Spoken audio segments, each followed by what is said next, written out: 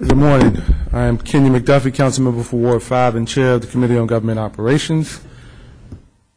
We are in room 412 of the John A. Wilson Building. The time is now 10:13 a.m. I'm calling to order of this budget oversight hearing on the Committee on Government Operations. And today, we'll be having hearings on four agencies, the Office of the Advisory Neighborhood Commissions, the Office of Campaign Finance, the Office of the Inspector General, and the Board of Ethics and Government Accountability. Uh, As usual, we're going to be hearing from our public witnesses first, and followed by our government witnesses. We're going to begin today by hearing from the Office of the Advisory Neighborhood Commissions. And I believe we have a couple of public witnesses. I don't see Michael Sindram here, but I do see uh, uh, Gigi Ransom, who's here this morning. So I'm going to call you up to testify.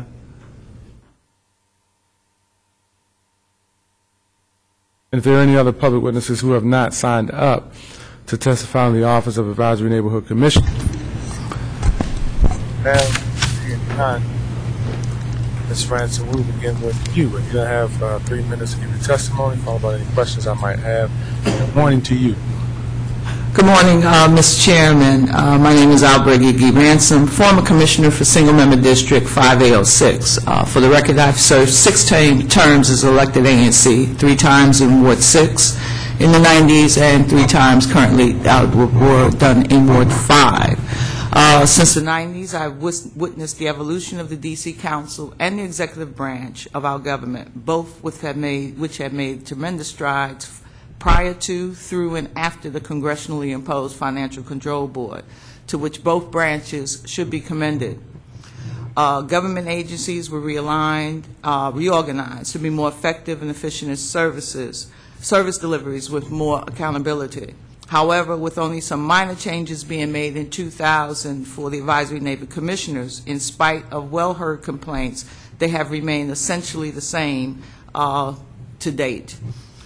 Uh, At one time, the budget was, uh, prior, in the 90s, late 90s, the budget for the ANCs was $1.1 million. Uh, af- af- with- Through the co- control board experience, it was re- reduced to $800,000. Uh, I believe we're still currently at the level of $500,000 for ANC commissions, and there are now 40 commissions with 295 commissioners. But that amount, you have to deduct the $200,000 plus maybe for the operations of the office of the ANCs. Um, I've added some other things since you only gave me a minute or so, but um, I had some concerns about uh, financial management, uh, how that's handled by the auditor's office. Uh, There's also how ANCs are funded. Uh, We have commissions that have offices, may not receive, uh, may only receive about three, four thousand dollars uh, a quarter uh, to pay for these types of things. And I believe now today, where all the other agencies have been, um, with the realignment and how the funding, uh, the budgeting goes for each of these agencies, the same should be looked at for ANCs, whereas, for example, the, the rent for a office space that cannot be found on public space um, uh, should not, should be in addition to whatever is budgeted for them. I've made some recommendations based on issues with the grants and other operations, as you'll see in my testimony. And one thing is definitely clear, there may be, there should be a need for a, some type of chief financial officer to review quarterly reports before they're submitted. I believe the Office of ANC should have to submit monthly reports as to their services rendered, status of service requests, year-to-date budget spending, etc., placed on the website, along with the ANC handbook. Uh, The use of a qualified staff person to serve as the attorney for ANC matters.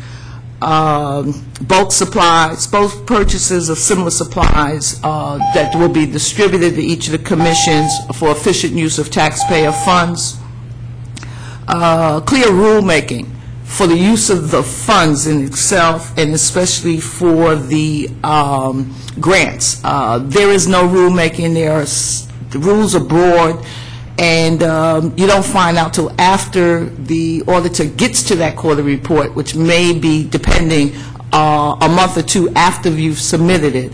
Uh, that there's concerns about certain expenditures. And uh, that's a a real issue, especially we found out in 5C, the prior 5C, prior to the redistricting.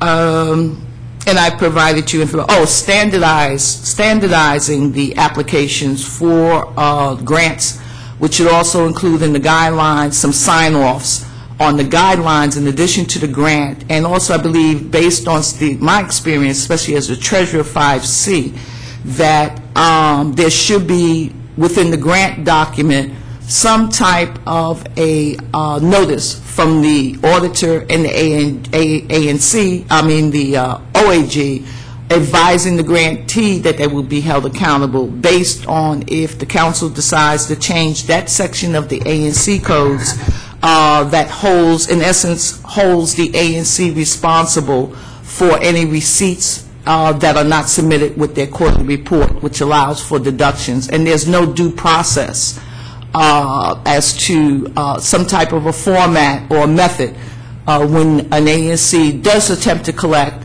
and the uh, recipient or the commissioner uh, that gets reimbursed and et cetera, does not provide the documentation or reimburse the funds. Uh, There's no process uh, to submit to, say, the auditor or to, uh, that it's uncollectible as far as the uh, position of the ANC, the rules and regulations regarding ANCs are concerned, and that it should either be forwarded to a collection agency or to the OAG and/or the OAG, depending on the, on the circumstances, and the funds not deducted. Because as you know, uh, we've had serious problems. We have one grantee in particular that owed the ANC uh, close to 15, I believe it was $15,000 that we did not collect on. If you'd like to talk about it, we can. I, after a year, I submitted it to, well, I submitted a full detailed report, about a three or six-page report, to the auditor with all, with about 28 uh, pages of support documentation that clearly made, made it clear that we could not collect. However, that amount was still deducted from our, uh, from the ANC allotment and will be paid, that ANC, uh, our ANC was scheduled to pay through uh, FY '14, Uh, and whether or not it should be passed on to the, uh, uh, the new redistricted commission. And the same holds true for uh, ANC 5B in another matter where there was theft of the funds, as you know and there is a newly formed ANC 5B um, that does not, cont- also does not have any of the old commissioners from the former ANC 5B, yet they are being held accountable for what the former commission did. They have to go down to the auditor's office to write checks and things like that, and it's, it's just not fair. Thank you. Thank you for your testimony, uh, Ms. Ransom. Uh, You listed nine things on here. Is there any, uh, the way that you list them, in your opinion, is this the priority in which they should, they should happen? If I had to pick one or two of these things, which ones are most important, do you think, to the... I think as far as the overall reporting, uh, the the quarterly reports submitted by ANCs, and again, with the time lag between when the auditor gets to them, or may, the person assigned, the ANC, uh, is it the specialist or whatever, uh, the time that it takes for them to review, which is now, once was, I think it was 30-something commissions last year, it's 40 now, uh, to go through all of them, uh, de- to spend the time, depending on the, um, the depth of the report. For example, for me, when I was the treasurer in 2011, and we did give a lot of grants, uh, at one time, I submitted a quarterly report of about over 350 pages, because they also asked for any communications regard, the, the application, um, uh, any communications, um, the minutes, uh, let's see, and there's some other documentation, and by the time we submitted the quarterly report, of course, they were supposed to submit the financial statement for that grant. So that may be included depending on the timeline, because we had a 30-day requirement. Uh, We cut that from a 60-day requirement. And um, with all of the documentation, the receipts, et cetera, that have to go with it, I winded up at one quarter, I think it was the third quarter FY el- uh, 11, that I had over 350 pages that I had to copy and whatnot. And then I revealed some of the issues uh, that came out, and of course, the auditor then found other issues. I was particularly uh, focused on the grants. So uh, someone needs to really go through, uh, say, a chief financial officer with the commissions uh, prior to the submission to the auditor. That chief financial officer should be able to play a role, too, in identifying problem situations and then the reporting to the auditor, OAG, IG, whoever, and the council. Is there any, and, and I I that uh, what you had in number nine, uh, changes in the ANC law regarding grants that hold the ANC responsible for the lack of receipts from the grantee to the grantee being held accountable. Uh, It's, in your opinion, is it, is it a situation where grants are being awarded and you've got some grantees who are non-compliant, and it still sort of falls back on the ANC, um, where, in, I guess it's your opinion that uh, these, these individual um, grantees should be held uh, responsible if they don't comply with uh, providing receipts of expenditures and whatever information they're supposed to provide to the ANC Commission, because you all, or ANC commissions, really have uh, very little enforcement when it comes to trying to get folks to comply. Yeah, no, well, we have no enforcement once we issue the check. Um, And we may discuss certain matters. We've changed at one point where we, for certain vendors or certain items that they requested, uh, to avoid that problem, we wrote the checks to the companies uh, for that specific purpose.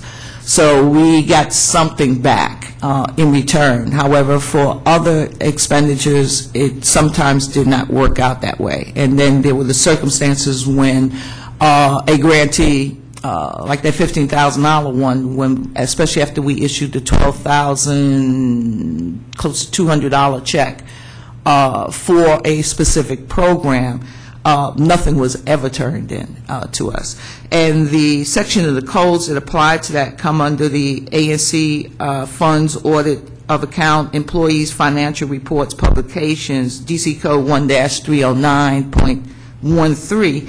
No quarterly allotment shall be forwarded to a commission until all reports of financial activities for the quarters preceding the immediate quarter are approved by the auditor. And it was told to me more than once, um, a report is not approved unless it, fully approved unless it has all of the receipts. Uh, They have made determinations just to do deductions uh, based on whatever they consider that outstanding amount to be uh, that did not have a receipt.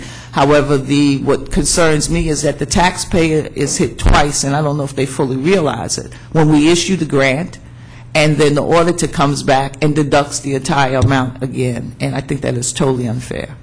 Uh, In your opinion, is the training that ANC commissioners receive uh, at the beginning when they're elected, i- is that sufficient? Do you think there needs to be any additional training, maybe specific to uh, whomever is going to serve in the capacity as treasurer, uh, just in terms of how you comply with uh, the reporting and things of that nature? You think that's, That's done by the uh, auditor's office, separate from the basic ANC training that new commissioners receive, and then sometimes, I believe, uh, as Mr. Simon will share with you, I believe there's also one for returning uh, commissioners. However, when you limit uh, this type of information to only the treasurer, the chair, uh, and then how they share it, um, uh, can sometimes be some miscommunication.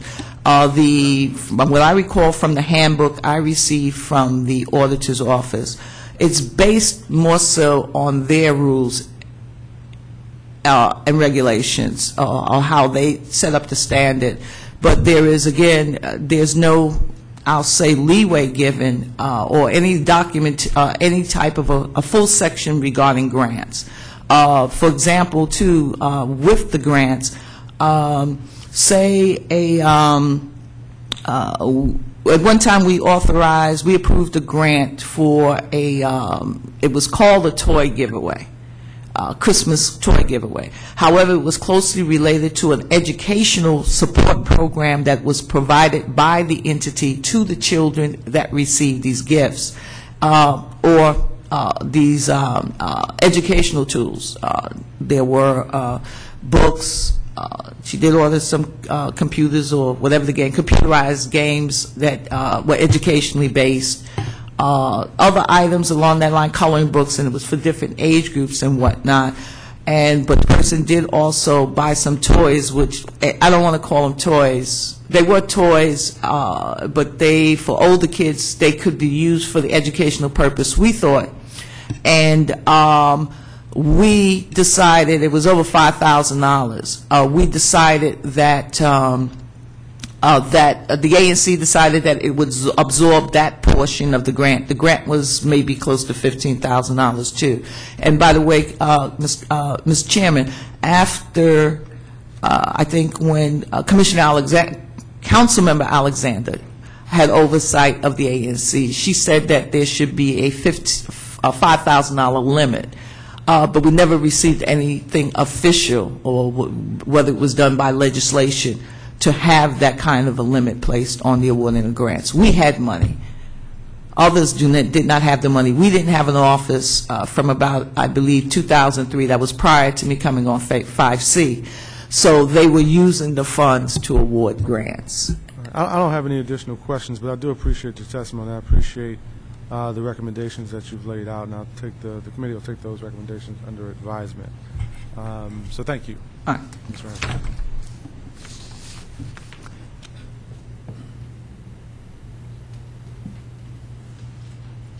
At this point, we're going to move on to our government witness.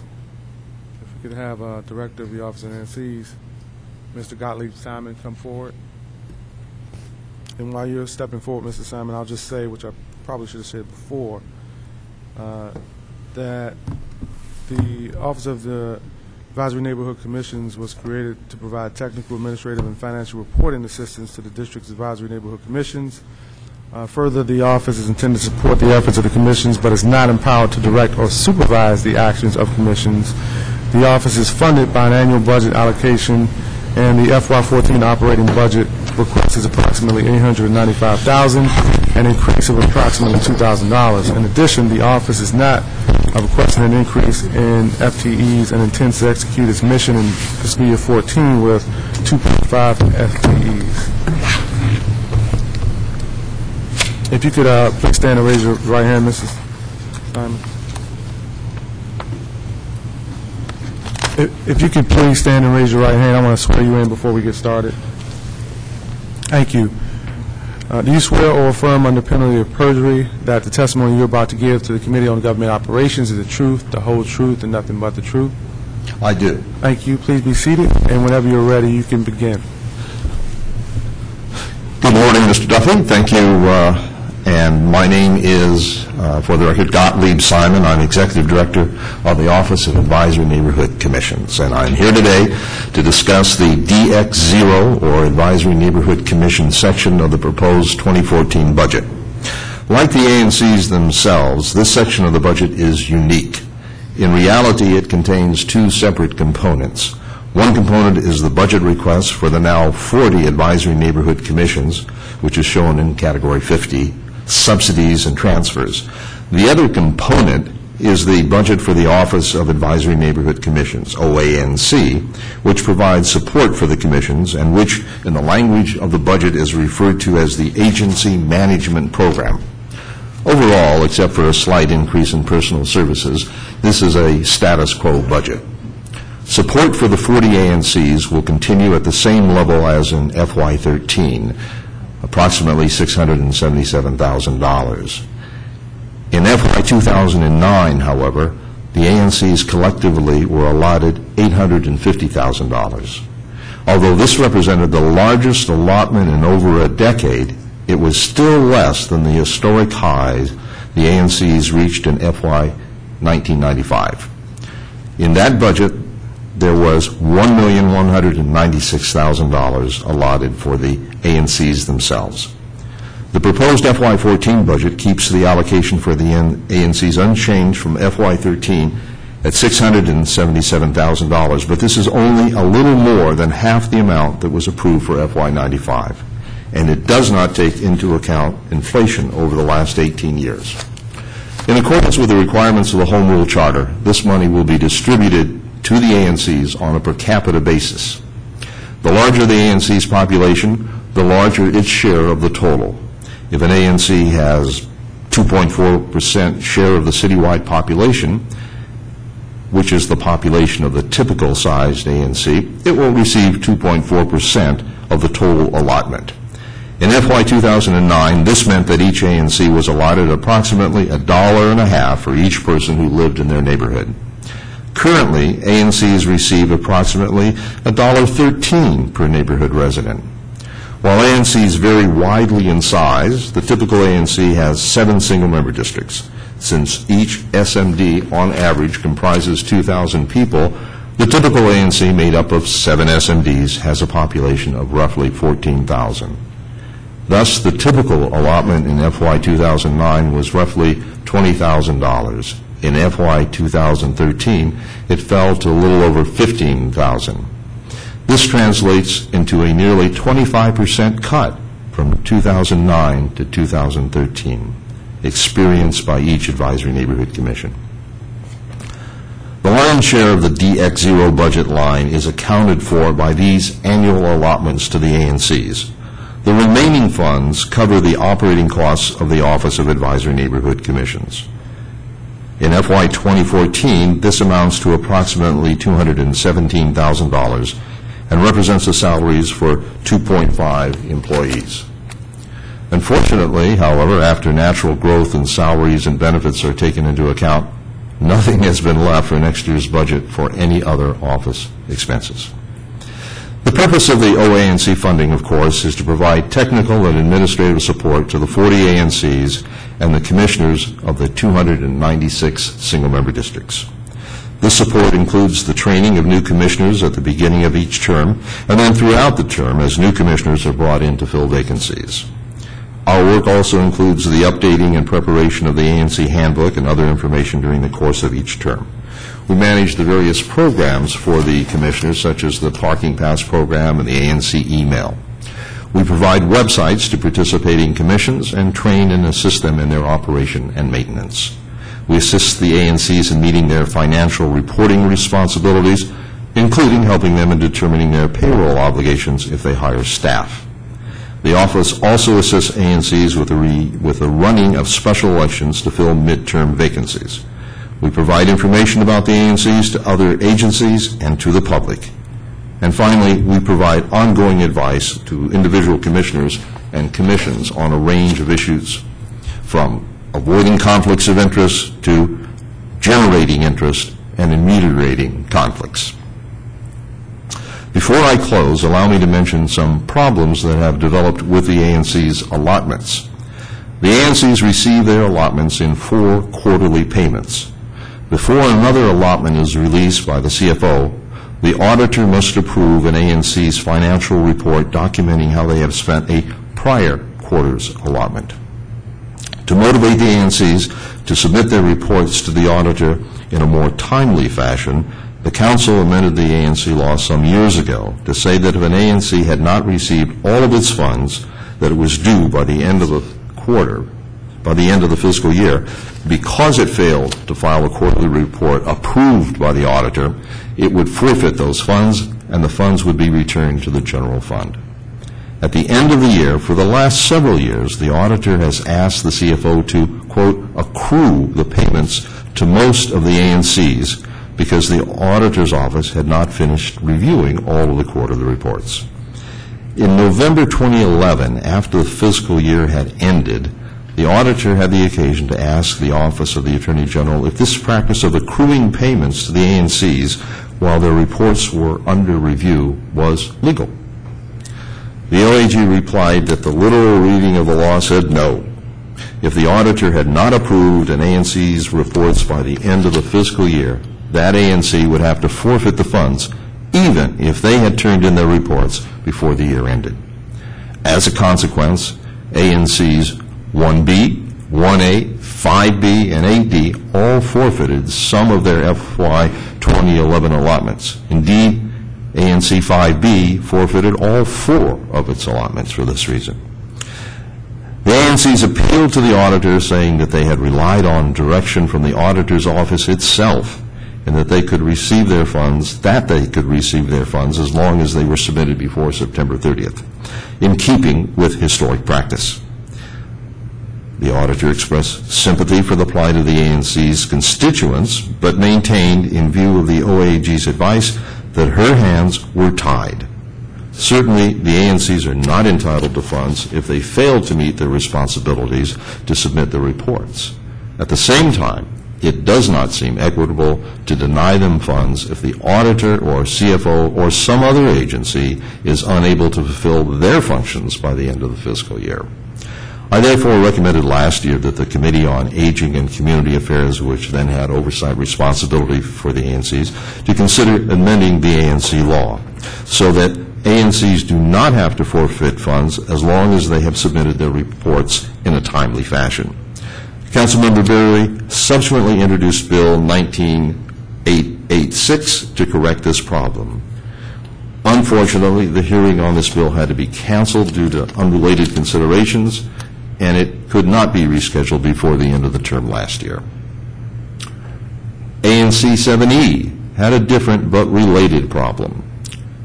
To be approved by the auditor, an ANC's quarterly report must be signed by the ANC's treasurer and chairperson and by the secretary, whose signature certifies that the ANC approved the quarterly report at a properly noticed ANC meeting. During FY11, a majority of ANC 7E commissioners voted to approve two quarterly reports that were due by September 30, 2011, the end of the fiscal year. According to all involved, the commission did this, but the secretary, for reasons unrelated to the certification of the vote, declined to sign the reports.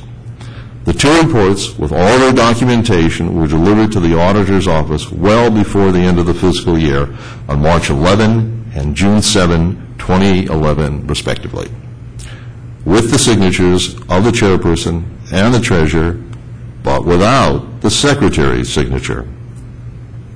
The auditor informed the ANC in January of last year that the ANC's reports could not be processed without the secretary's signature and that the ANC would therefore forfeit both quarterly allotments or half a year's funding.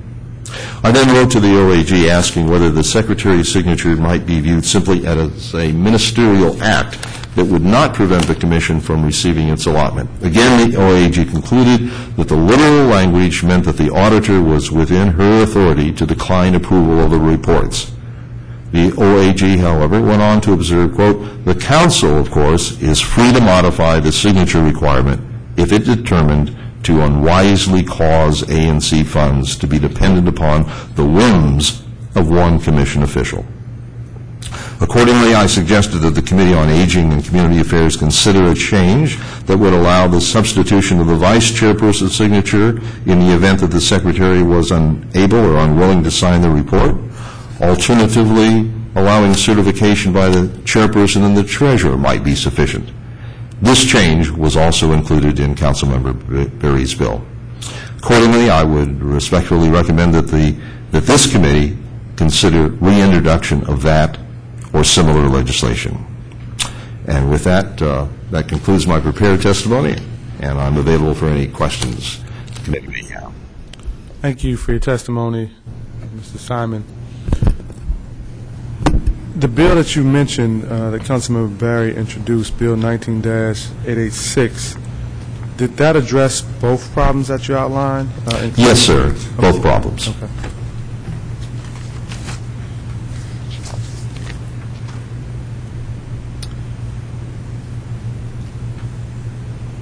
I want to begin by asking you just a couple of questions about um, some of the documents um, uh, around the budget.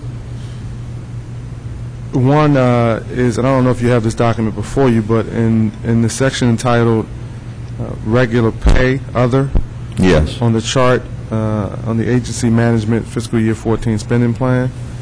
Uh, Is this section um, and the funds associated with this section primarily to compensate your part-time uh, employee, or does this serve uh, some sort of, um, some other purpose?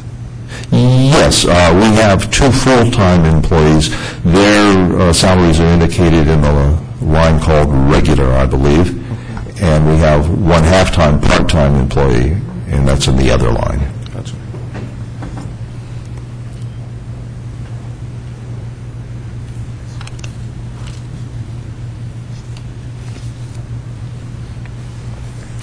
In your fiscal year 13 ANC spending plan, your subsidies and transfers are- are are fairly detailed, and there's a line item spreadsheet of the expenditures you have made to to each commission.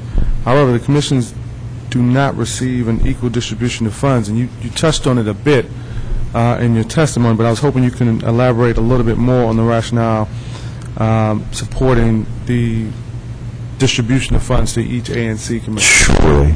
We have currently 40 commissions, which is up from the 37 we have for many years. Uh, And each year, the council allots a certain amount of money to go to cover the expenses of all of the ANCs. Uh, Putting aside the home rule charter for just a second, the ANCs vary in their size and population, and so therefore in the number of single-member districts that they have.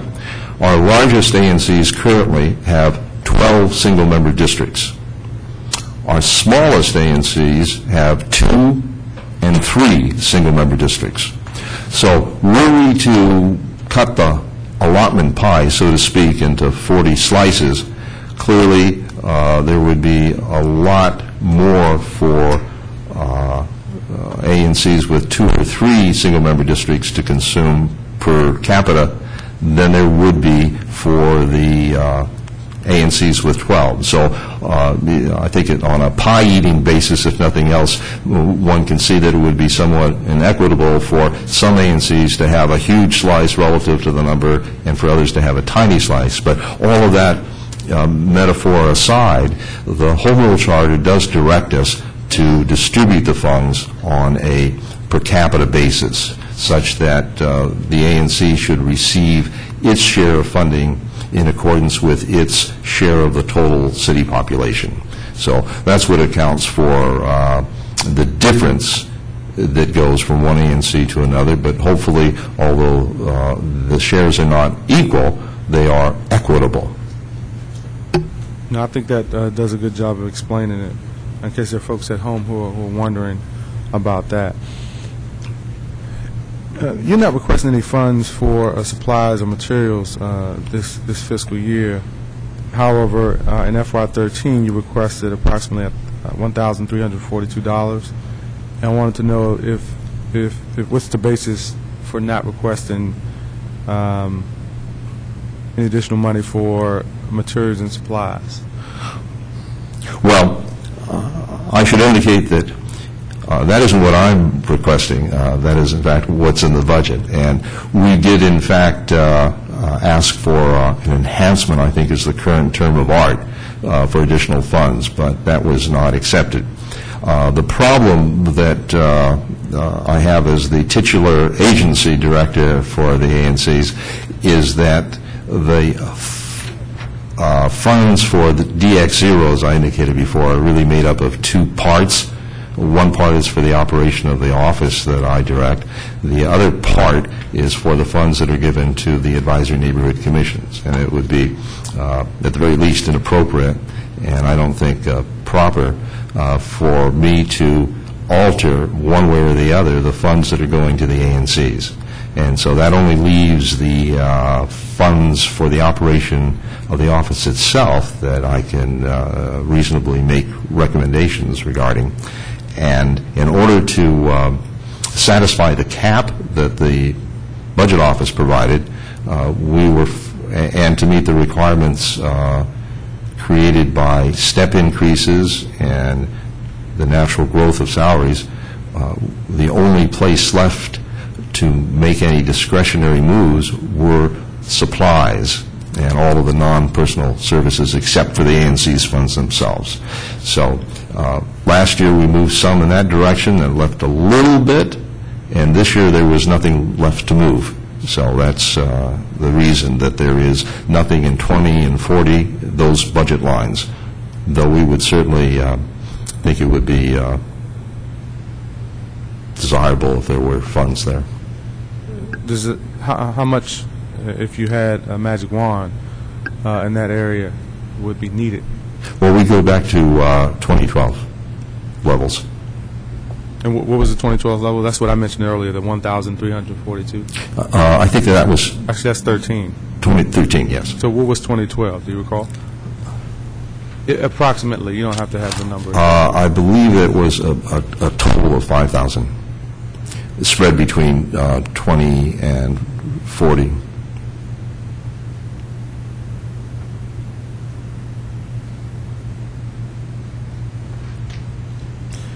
You also uh, mentioned during the performance oversight hearings before this committee that um, your staff manages special elections if there are any vacancies. And I'd like to know if there are any costs associated with, with this function. The costs associated with the special elections? Are, are there any costs associated with the special elections? If so, how much?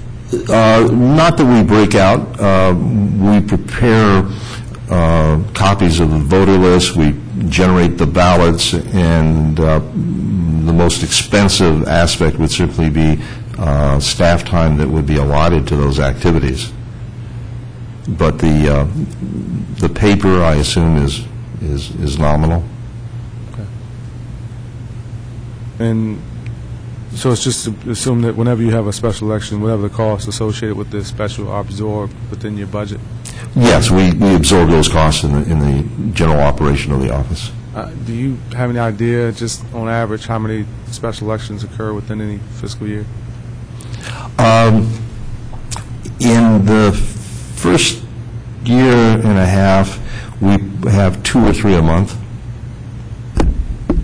And then we reach a point where it is too close to the next general election, and uh, we can't hold any more uh, special elections. But uh, things happen. Uh, For instance, Commissioner uh, uh, Ransom, who spoke just a while ago, uh, had a circumstance, and she was forced to move, and when she moved, uh, she wasn't able to maintain residency in her single-member district, and her seat became vacant. So lots of things happen throughout the year that require filling of a vacancy.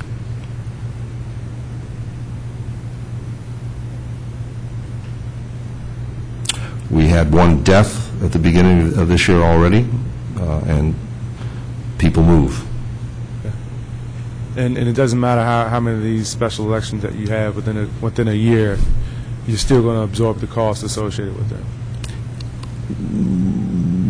Yeah, we will still uh, uh, absorb the cost of the election, right?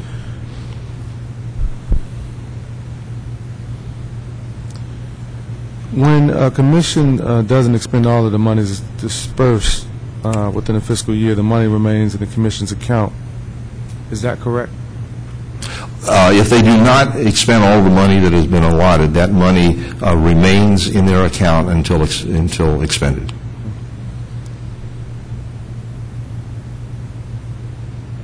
And that's, that's indefinitely, the money remains in the account. That is correct. And uh, it was, uh, that's been the case since the ENCs were established, and it was uh, a matter of pride, I remember very clearly among the, the first uh, group of commissioners, that they were freed from the sort of spend it or lose it um, uh, mentality and uh, incentive that they had experienced in their role, in their other roles in life. So the ANCs are in a better position to, to hold the money for a good cause.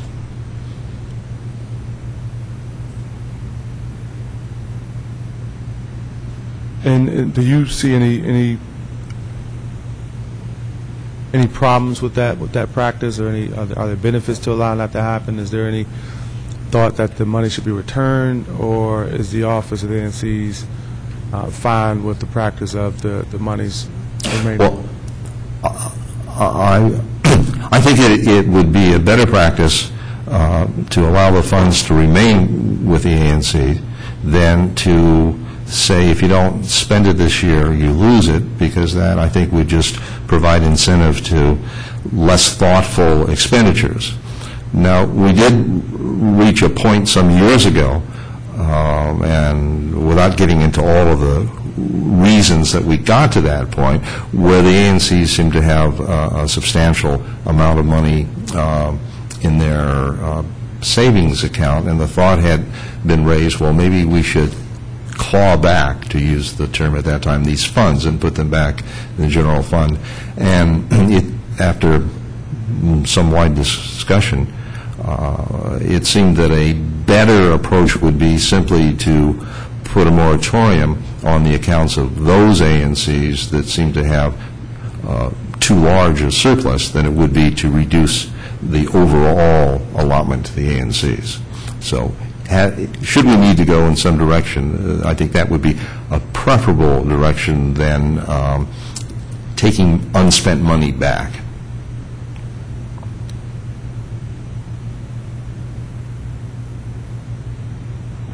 And, and currently, um, you've got 2.5 FTEs, and that's not going to change the proposed fiscal year 14 uh, budget.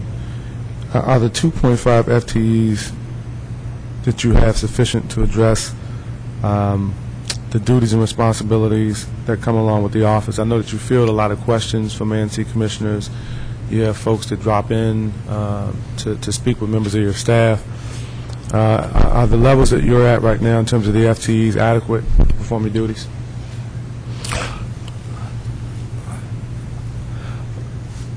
We are somewhat um, underwater at the moment with uh, the uh, requests that have come in and our ability to fulfill all of them.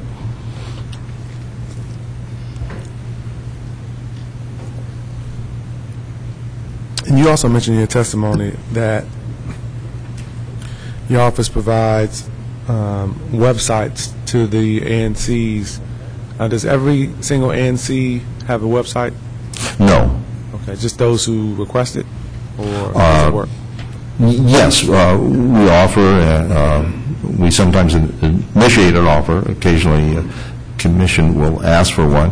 Um, ANCs represent a wide range and reflect all of the diversities of the city, I like to tell people, so there are some that are highly technologically oriented, and others not so much. And so we have uh, some ANCs that have generated uh, very um, uh, ambitious websites on their own. Uh, Others are using a a, uh, a website that we've put together, which doesn't require uh, any uh, outside knowledge of HTML programming or complicated web activities, but does allow the basic information about when the ANC meets, who are the commissioners, what are their uh, minutes, uh, when the next meeting is, and uh, important documents such as their minutes and things of that sort. But there are a few that uh, not uh, uh, uh, inclined to do that yet. In terms of the websites and the emails, what- what's the cost to the office in providing that? Is is there a cost to your office, or is there a cost to some other office For the websites? for the websites and the emails? No. Uh, The uh, websites are are produced in-house, so it's just, you know, whatever imputed staff time you'd put to that. Uh, And as far as the email, we have an agreement with Octo that uh, they provide the email accounts at anc.dc.gov, uh, and we provide the help desk and training uh, aspects.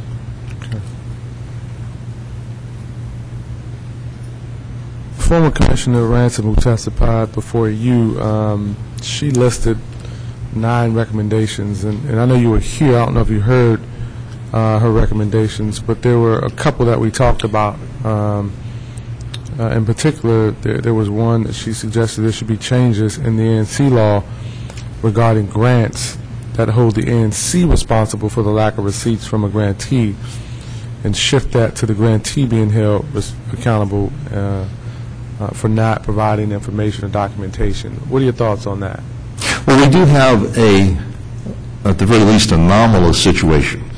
The quarterly report requirement is that every expenditure be uh, sub- um, supported with documentation, and the ANC law requires that every grant uh, be the subject of a written proposal, and it further requires that within 60 days of receiving the grant, a grantee is to provide the ANC with a report on the use of those funds and copies of all receipts.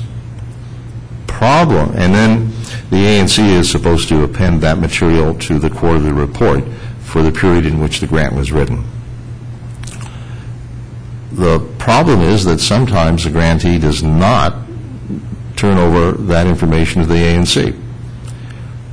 The literal reading uh, of the law then directs the auditor to not approve a report, or alternatively, more likely, to approve the report, but to disallow the expenditures associated with a grant that is not fully supported and documented. So we have an ANC which does uh, what it's supposed to do, but we have a grantee that doesn't do what it's supposed to do, but it is the ANC that winds up being penalized.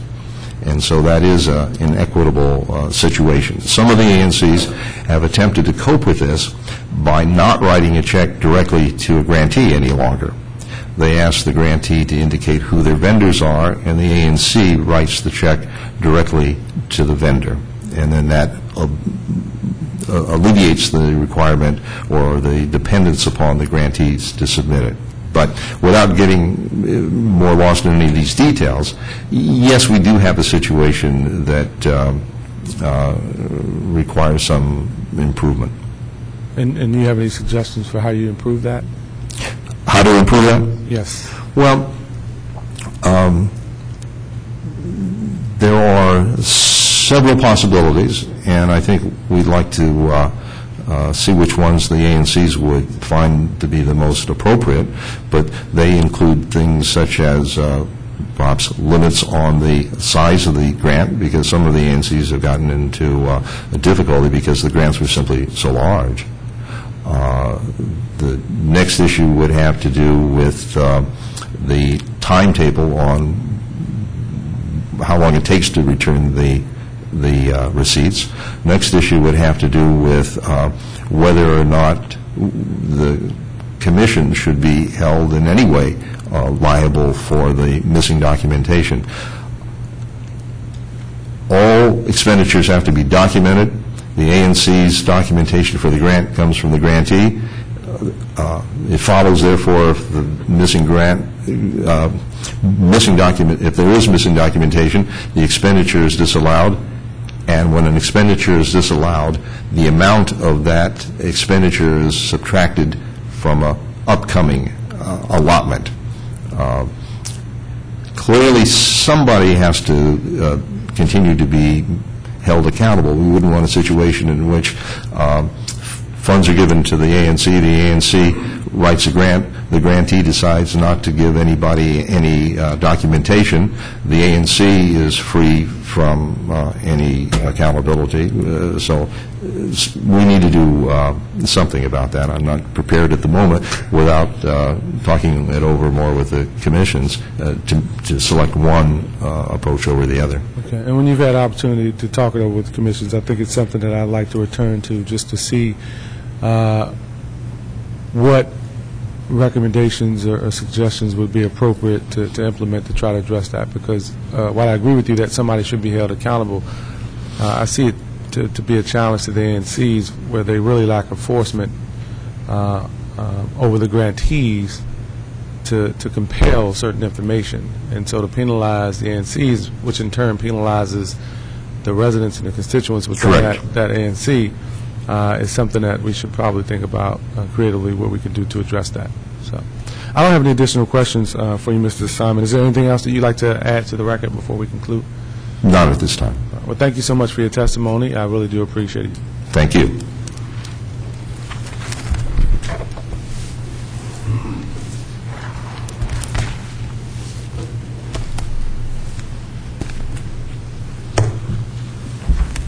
And next, we're going to have testimony from our public witnesses on the Office of Campaign Finance. And we've got one public witness who is uh, signed up to testify, and that's Michael Sindram. Morning, Mr. Chair. Sindram, you can uh, begin your testimony whenever you are ready. Michael Sindram, disabled veteran, served our country more than most. I'd like to weigh in with Advisory Neighborhood Commission, if I may, uh, Mr. Chair. Can do many things in life, but I can't be two places at the same time, and your colleague had a Washington Metro Area Transit Authority uh, hearing, so I just uh, departed. as I said, and I've used this, act, and my organization, uh, DC Justice for All, which can be accessed dcjusticeforall.org, I believe under committee uh, guideline rules, that should uh, entitle me to five minutes, but be that as it may, the art of good governance, accountability, rule of law, and transparency. Uh, And the mantra of the Advisory Neighborhood Commission is to bring people closer to the government and government closer to the people. There's an instance I know of that an ANC grant was granted, no pun intended, ANC 4A. It was given to Denise Rhodes, trading as Digital Dynamo. It was in the amount of $2,000. This is when we had the digital conversion. And grant was given and then rescinded. Now, Mr. Simon makes certain representations uh, favorable to ANC, but, you know, what is good for the goose is good for the gander. It also should apply to the commission as well, because nothing was ever given to Ms. Rhodes, the grantee, in terms of the grant being rescinded. I pushed the envelope. We had a hearing of one uh, board member to contest this. And by law, when there's an adverse decision and I timely file and perfect my appeal, which I have done, I am then entitled to a full complement of the uh, Board of Elections. That has yet to happen.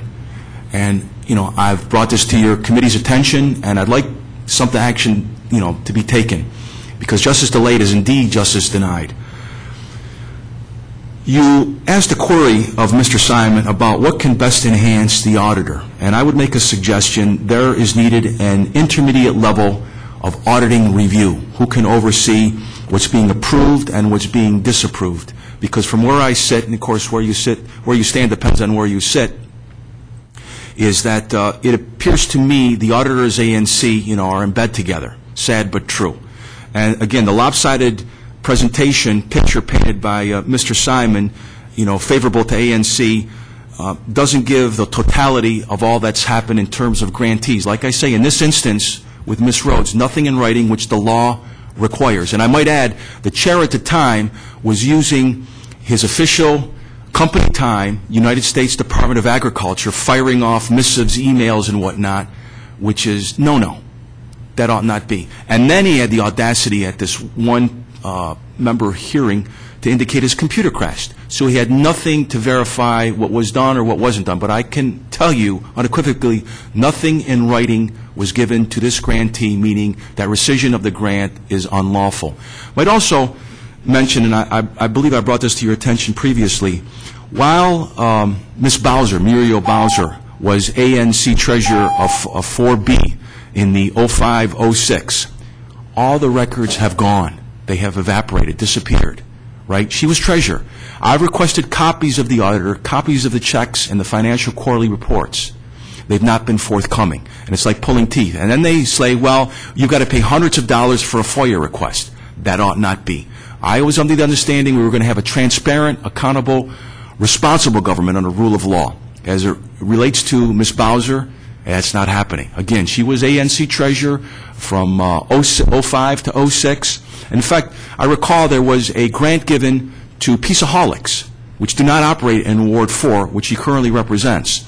She categorically denied on the record. Later, she said, yeah, we did write a grant for $1,000 to them, which should be, you know, returned. Um, So I think these things need further deliberation and review by you and the committee. Briefly, uh, regarding Office of Campaign Finance, um, there are two matters. The one I've referred to, Denise Rhodes. The other involves an ANC chair, uh, 4A, who has used the ANC office, he happens to be an attorney too, to receive mail. He also sits on a number of nonprofits, and grants have been granted to those respective nonprofits. Clearly conflict of interest.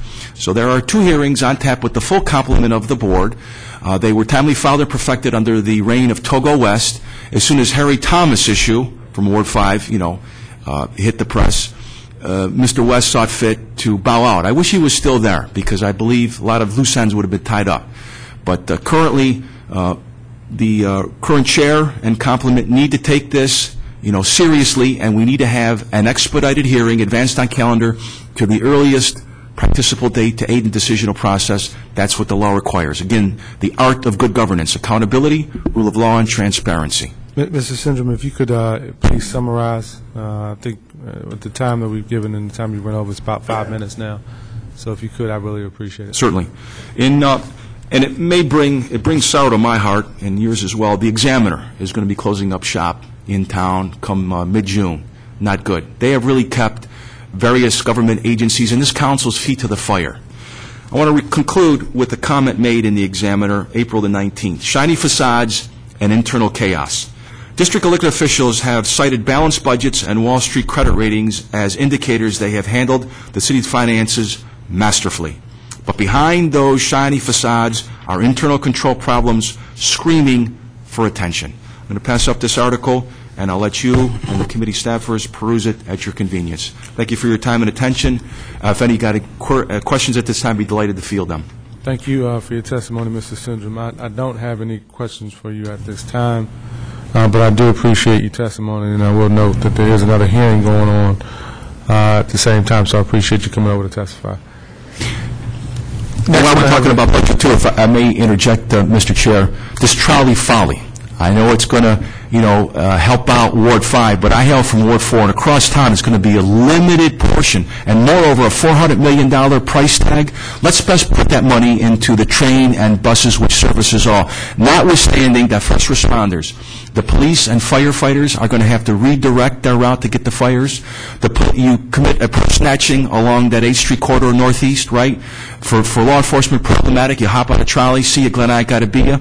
The spatial constraints with parking, we already have limited parking as it is. Those trolley follies are going to take up much more space. And notwithstanding, if we have a derecho again, the overhead wires, they come down, it's going to be complete havoc. Okay. Thank you, Mr. Yes, sir. I appreciate it. I'm going to call up uh, a government witness for the Office of Campaign Finance, the Director uh, Cecilia Collier Montgomery. If you can come forward, and while you're stepping forward, I'll just say that the mission of the Office of Campaign Finance is to regulate and provide public disclosure of the conduct, activities, and financial operations of candidates, campaign finance committees, legal defense committees, and constituent service and statehood fund programs to ensure public trust in the integrity of the election election process and government service. The office is funded by an annual budget allocation, and the FY14 operating budget request is approximately $2.6 million, an increase of approximately 1%. In addition, the office is not requesting an increase in FTEs and intends to execute its mission in FY14 with 31 FTEs. Uh, Before we get going with your testimony, Director, I'll ask uh, if you could, if you each could please stand and raise your right hands to be sworn in. Do each uh, swear or affirm under penalty of perjury that the testimony you're about to give to the Committee on Government Operations is the truth, the whole truth, and nothing but the truth? I do. Thank you, uh, and you can begin your testimony whenever you're ready. And good morning. Good morning. Good morning, Chairperson McDuffie and members of the Committee on Government Operations. I am Cecily E. Collier Montgomery, Director of the Office of Campaign Finance. Seated with me today is William O. Sanford, the General Counsel for the Office of Campaign Finance, as well as Mr. James Hurley, who is our Financial Manager. Thank you for the opportunity to testify today on the fiscal year 2014 proposed budget requests. The Office of Campaign Finance, as you know, is established within the District of Columbia Board of Elections. The office is responsible for the administrative operations of the board pertaining to the campaign finance laws of the District of Columbia. The mission of the office is to enhance the confidence of the residents of the District of Columbia in the integrity of the election process and government service by monitoring, aiding through education, and enforcing compliance with the campaign finance laws. This goal is accomplished by the Office of the Director and the three divisions of the Office of Campaign Finance, namely the Public Information and Records Management Division, the Reports Analysis and Audit Division, and the Office of the General Counsel.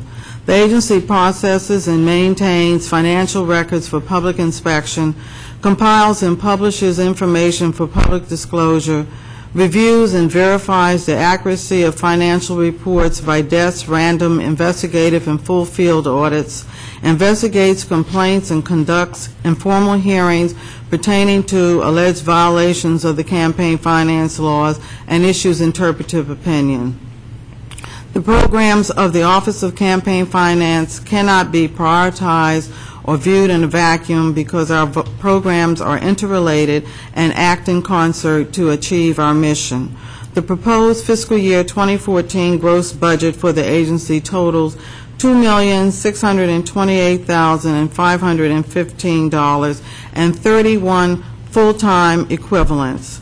This represents an increase of 1.1% or a change of $27,470 from the fiscal year 2013 approved local funds budget of $2,601,045.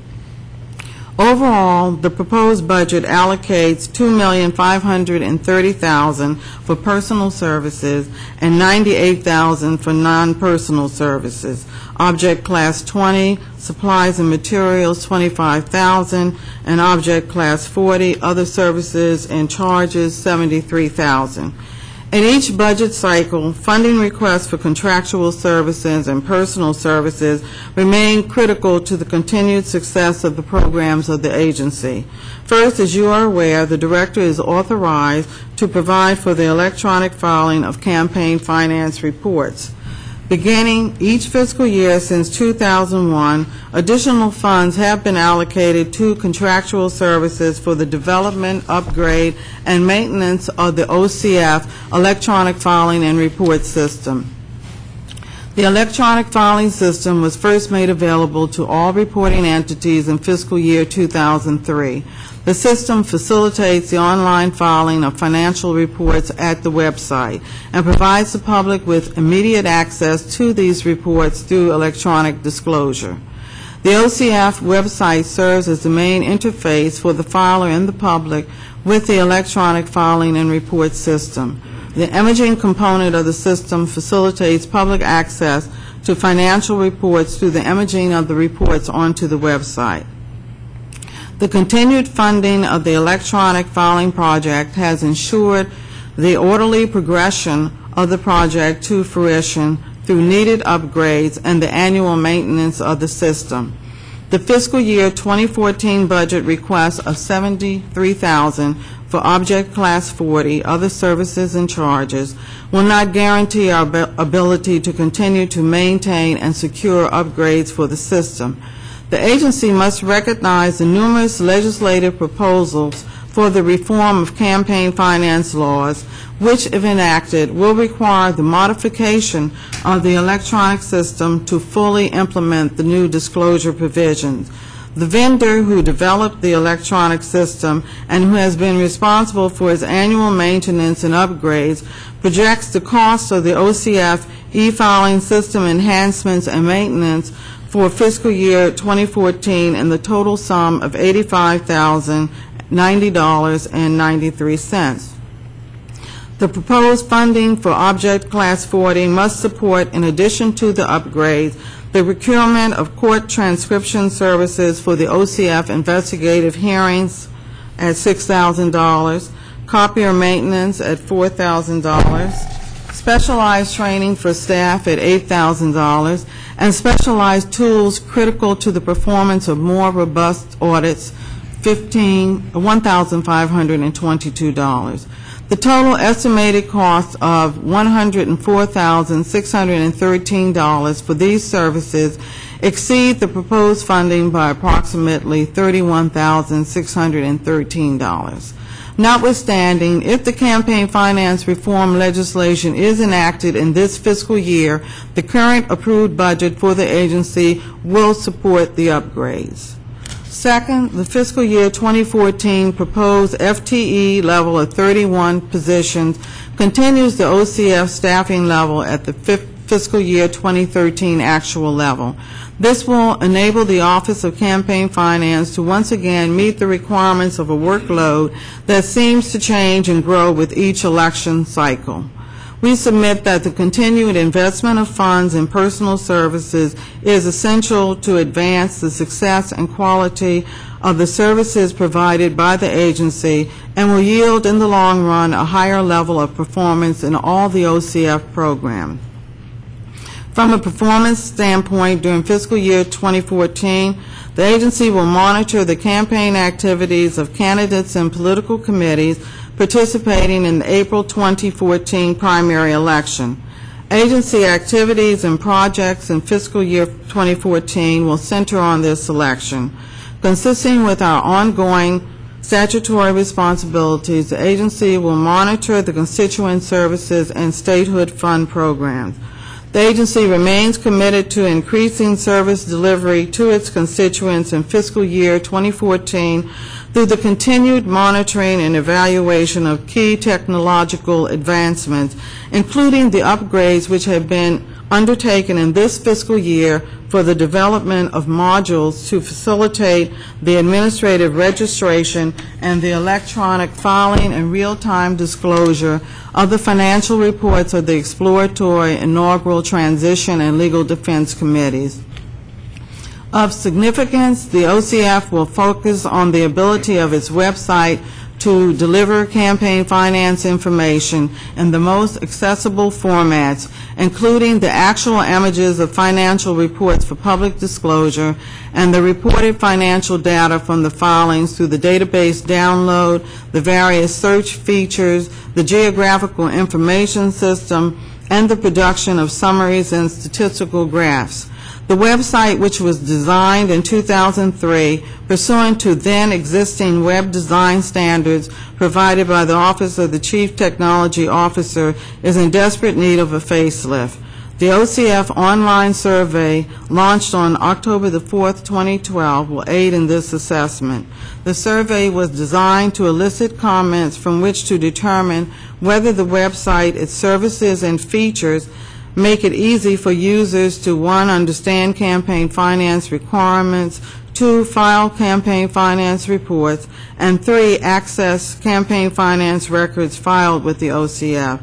The survey closed on January 15, 2013, and 70 visitors to the website participated in the survey. On April the 12th, 2013, the website Usability Survey Analysis Report prepared by DataNet Systems Corporation was submitted to OCF for consideration. The survey results found that overall, most respondents were satisfied with the OCF homepage and the information and services provided through the site. However, the results showed that some users experienced difficulties navigating the site and locating the services they needed, and that there were issues involving browser compatibility with the browsers Google Chrome and Mozilla Firefox. Based on these findings, it was recommended that the homepage layout be redesigned to be less cluttered and more user-friendly, that browser compatibility be improved, and that the OCF website navigation scheme be redesigned and incorporate a smart search function on the homepage. The survey results are presently under review by the OCF management team in an effort to identify the upgrades and homepage design necessary to simplify and improve the public's access to the disclosure data available at the website. In addition, during fiscal year 2014, the OCF will evaluate the effectiveness of the units created in fiscal year 2013 to perform specific functions within the Office of the General Counsel and the Reports Analysis and Audit Division, and to better meet the demands of monitoring more complex campaign operations. The realignment was based on three factors which underscored the need to supplement OCF's auditing and enforcement capabilities. First, the fiscal year 2013 OCF budget allocates increases in the personal services budget for the purpose of funding 15 additional continuing full-time positions in the audit and legal divisions. Second, the duty and responsibilities of the agency changed under the Ethics Reform Amendment Act of 2011. Third, since 2002, there have been dramatic increases in the number of election complaints received by the office, the complexity of the funding mechanisms used to support campaigns, and in the total sum of reported receipts and expenditures. As of this date, the Office of Campaign Finance has recruited and filled 11 of the new positions funded in the fiscal year 2013 approved budget. Once fully staffed, the agency will establish standard operating procedures during July 2013 to formalize the practice of the OCF to conduct site visits of the early voting centers, and election precincts operated by the Board of Election. The procedures will also authorize the site visit to the business offices of candidates for a local elective office and political committees, as well as the offices of any other committees under the purview of the OCF. The procedures will enable the OCF to be proactive in ensuring voluntary compliance with the campaign finance laws through the observation of activity in and around early voting centers and election precincts, and of the financial operations and activity of the offices of the various entities registered with the agency. Moreover, the site visits will afford the public the opportunity to ask questions concerning their obligations under the campaign finance laws. During fiscal year 2014 is our intent to dispatch 10, six audit, and four legal positions, employees to conduct site visits to election precincts during the April 2014 primary. The employees will visit a minimum of 10 precincts located in each of the eight wards on Election Day. The agency will also dispatch a minimum of four employees, two legal and two audit positions, to conduct site visits of the campaign offices of candidates and principal campaign committees during the 2014 election cycle. Lastly, in light of the vast changes to the campaign finance laws, the agency will focus on its educational program and how best to revamp the program to reach a wider audience and strengthen the public's understanding of the changing campaign finance laws. To accomplish this goal, the agency will recruit in fiscal year 2013 a campaign finance training coordinator to manage the OCF educational program. The responsibilities of the position will include the development of a comprehensive educational program which will convey the basics necessary to achieve voluntary compliance with the reporting requirements, and the design of online training tools. The agency will continue to offer biweekly educational seminars and special sessions upon request which address the reporting requirements and foster the use of the electronic filing system. On behalf of the Board of Elections, I must also state that in an effort to better serve the public, the long-term goal of the Board is to house both the Office of Campaign Finance and the Board of Elections in one location. The Board and the OCF have been working closely with the Department of General Service Services to develop projected cost estimates based on the space needs of both agencies. Once received, the cost estimates will be forwarded to the committee for consideration. In conclusion, the fiscal year 2014 performance plan directs the major efforts of the agency in unison to achieve voluntary compliance with the reporting requirements of the campaign finance laws and to provide full public disclosure through the the delivery of public information in a timely and useful manner. For the most part, the fiscal year 2014 plan continues as well as evaluates the projects initiated and completed during the most recent fiscal years. This completes my testimony. I will be pleased to entertain any questions the committee may have. Thank you for your testimony, Ms. Collier Montgomery. And I do have a few questions. I want to begin uh, by asking you a question about um, sort of the ratio between your personal services budget and your non-personal services budget. Uh, Just that, that your office stands out among some of the other agencies within the uh, purview of the committee uh, with respect to the, the ratio, and I believe uh, your NPS budget uh, only represents about four p- uh, four percent of your overall budget. And just in general, I know you talked about um, some of the things that that, that M- NPS represents, but um, you have any any insights as to why the ratio is, is such that it is with your agency, and it's just so different from some of the other agencies in government? Okay, and I believe that my financial manager can address that question. Well, I'll, I'll uh, indicate in general that um, oftentimes uh, across the last few years, particularly during uh, the recession and the impacts of that, the agencies are, are working towards a target, and uh, in a number of cases, because of uh, built-in PS, personal services increases associated with uh, basically step increases or because of an increase in fringe benefit.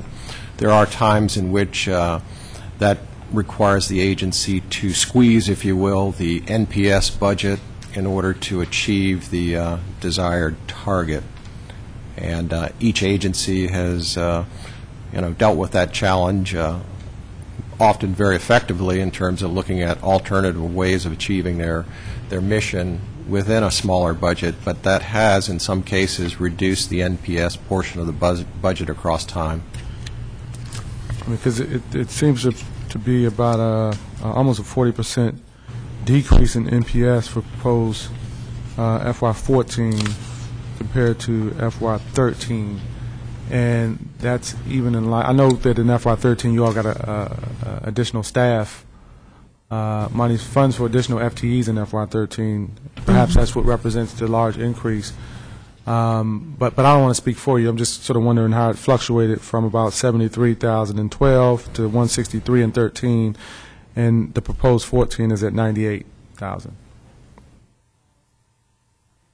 Again, the uh, drop to 98, I think, uh, again, was uh, largely driven by an effort to try to uh, achieve a a budget target, and uh, without reducing staffing, uh, a lot of times the squeeze is in the area of NPS, and I think that's the reason for the reduction that you're seeing in in FY uh, '14.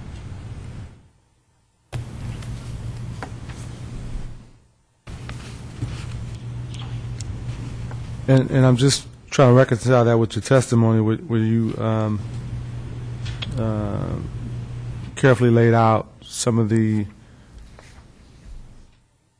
costs associated with uh, the filing system enhancements and maintenance, and that the total estimated cost of $104,613 for the services exceed the proposed funding by approximately $31,613. Yes, and I would again add, though, however, if the, um, if the, the campaign finance reform legislation is enacted within this fiscal year, the OCF budget for fiscal year 13 can support uh, the upgrades which would be required by the legislation. And if that is the case, the estimate, the estimate actually for the uh, upgrades, I believe totals um, 40-some thousand, and then 30-some thousand of the total eight, 80-some thousand dollar figure uh, is attributable to maintenance costs for next year. So if we are in fact able to uh, proceed with the upgrades that are required by the campaign finance reform uh, legislation in this fiscal year, then the 73,000, which is um, proposed for uh, non-personal services, the, in Object Class 40, would be sufficient to support maintenance, maintenance costs for the uh, system during fiscal year 14. And with respect to personal services, in the approved FY13 budget, your agency's FY12 FTE approved total was 16 Yes. FTEs. Uh, However, in your submitted FY14 budget proposal, it states that the FY12 approved FTE total was actually 15.3 FTEs. And I'm just hoping you might be able to um, reconcile uh, the discrepancies there. Uh, Let me just mention that the uh, FY12 number, the 15.3, is, uh, that column typically is the actual, and so to the extent that you have uh, part-time or positions that are not filled for the uh, complete year, it can, uh, in computing actual, depending on number of hours a person is in a position, you can end up in that column labeled FY12 as showing a fraction, and I think that's what happened in this case. Okay.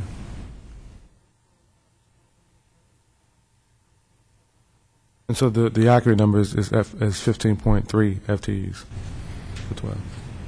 Yes, that's correct. we were, at- the agency was given, uh, was provided funding for um, 16, 15 additional uh, FTEs in the fiscal year 2013 budget. Right. And and actually, with respect to that, uh, from FY12 to FY13, the office increased its FTE count by over 90%, uh, nearly doubling the amount of FTEs in the agency. Uh, However, according to the Schedule A that the committee received, there's still 12 vacancies within within OCF. And of the approximate 15 additional FTEs approved for FY13 budget, nearly 80% of that total is still unfilled going into the third quarter of our fiscal year. As of this date, the agency currently has 19 positions filled. We had, um, during the last two months, advertised eight positions, eight additional positions. Six of those positions, selections were made, and the applicants, uh, the candidates accepted uh, the employment office offer to decline. We um, basically, at this point, have six vacancies remaining. Um, Four of the positions are of the original um, uh, 15 positions which were funded uh, in the, the new positions which were funded in the fiscal year 13 budget, and four of those positions, those are audit positions. We have filled all five of the legal positions, and we have filled uh, approximately uh, six audit positions. The new positions, with the new positions, we have filled the six positions. We have two employees who are scheduled, I believe, to come on, who are scheduled to report for duty on May the 6th, and the remaining four employees are scheduled to report on May the 20th. As I discussed pre- previously, we are having a space um, revised or renovated on the third floor of the Reeves Center to accompany the increased staffing levels uh, for the Office of Campaign Finance, and it is anticipated that we will house nine employees in that space. We are in the process of preparing to recruit for the remaining vacant positions in the agency. So th- for the six, and just so I'm clear, there's six uh, vacant FTEs to date, Yes. okay? And then four of those are audit positions that were a part of the 15 additional FTEs that were provided for in the FY13 budget. Yes. And then what are the final two? The final two positions were vacancies which were created as a result of employees being promoted uh, to the new positions. Okay, and which positions are those? Do you know what those are? Those were audit positions. One was the supervisory auditor uh, position at the MS-12 level, which was filled in January, uh, January the 14th, 2013, to be exact. The other position, uh, the employee who was selected for that position uh, was selected in an auditor position at a CS-11, and that position was filled on January the 14th, 2013. Also, I had one legal position uh, where on a, an- a former employee applied for the position and was selected, and that was the new position, Attorney Advisor LS, LS-12, and that position was actually filled on January the 14th, 2013. Okay, so, so to date, there are six FTE vacancies, and all of them are for audit positions. Four are for audit positions. One is a vacant legal position.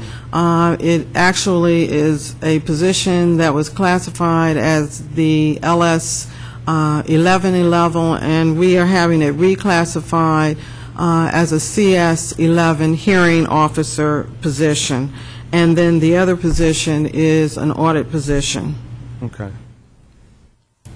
And since there uh, will be uh, an apparent cost savings of not having um, paid salaries or fringe for those positions that are vacant for half the year, uh, and since the, the potential amount of the savings will be less than the amount that, that requires council approval, do you have uh, any idea at this point how you might use those savings?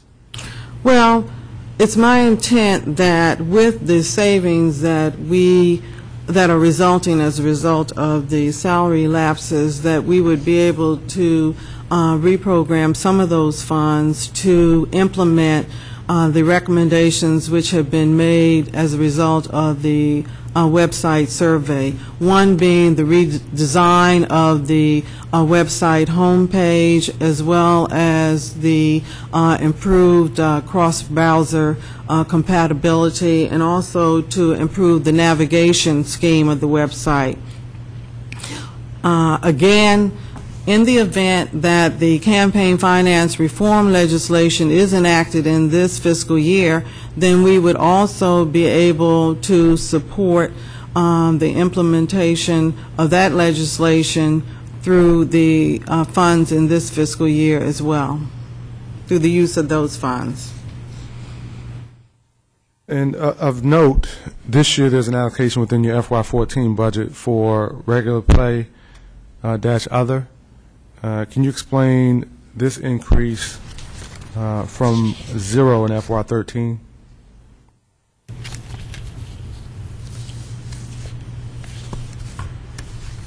I believe that's just a matter of uh, classifying, I believe, one of the positions as a a term uh, appointment, I believe, is the reason why the uh, funding was shown in uh, regular pay other with 59,000. So the staffing is the same, it's just a matter of the designation of a particular position.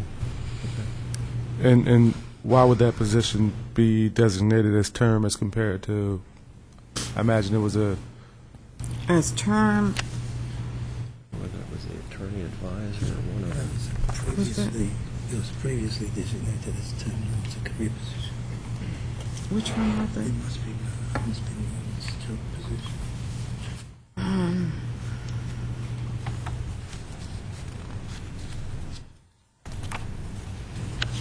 I'm trying to You can- you determine can- which position that is. you can always get back to the committee if it's something that requires a little additional time. I'm just sort of curious as to what that might represent. We can uh, provide the feedback. It's one of the positions. We'll uh, clarify which one it is, but it's, uh, because it's designated as a, as a term position, its uh, pay is, a- is in that category. Okay, This thank position was O-type revenue, that's why it's when Thompson has to put it. It could be that this was formerly, a was this, uh, this may be one of the positions which was formerly identified with the uh, special fund. The the position was paid from the Special um, Purposes Fund during fiscal year 12? Uh, The- yes. The revenues which were captured from the lobbyist registration fees. Okay.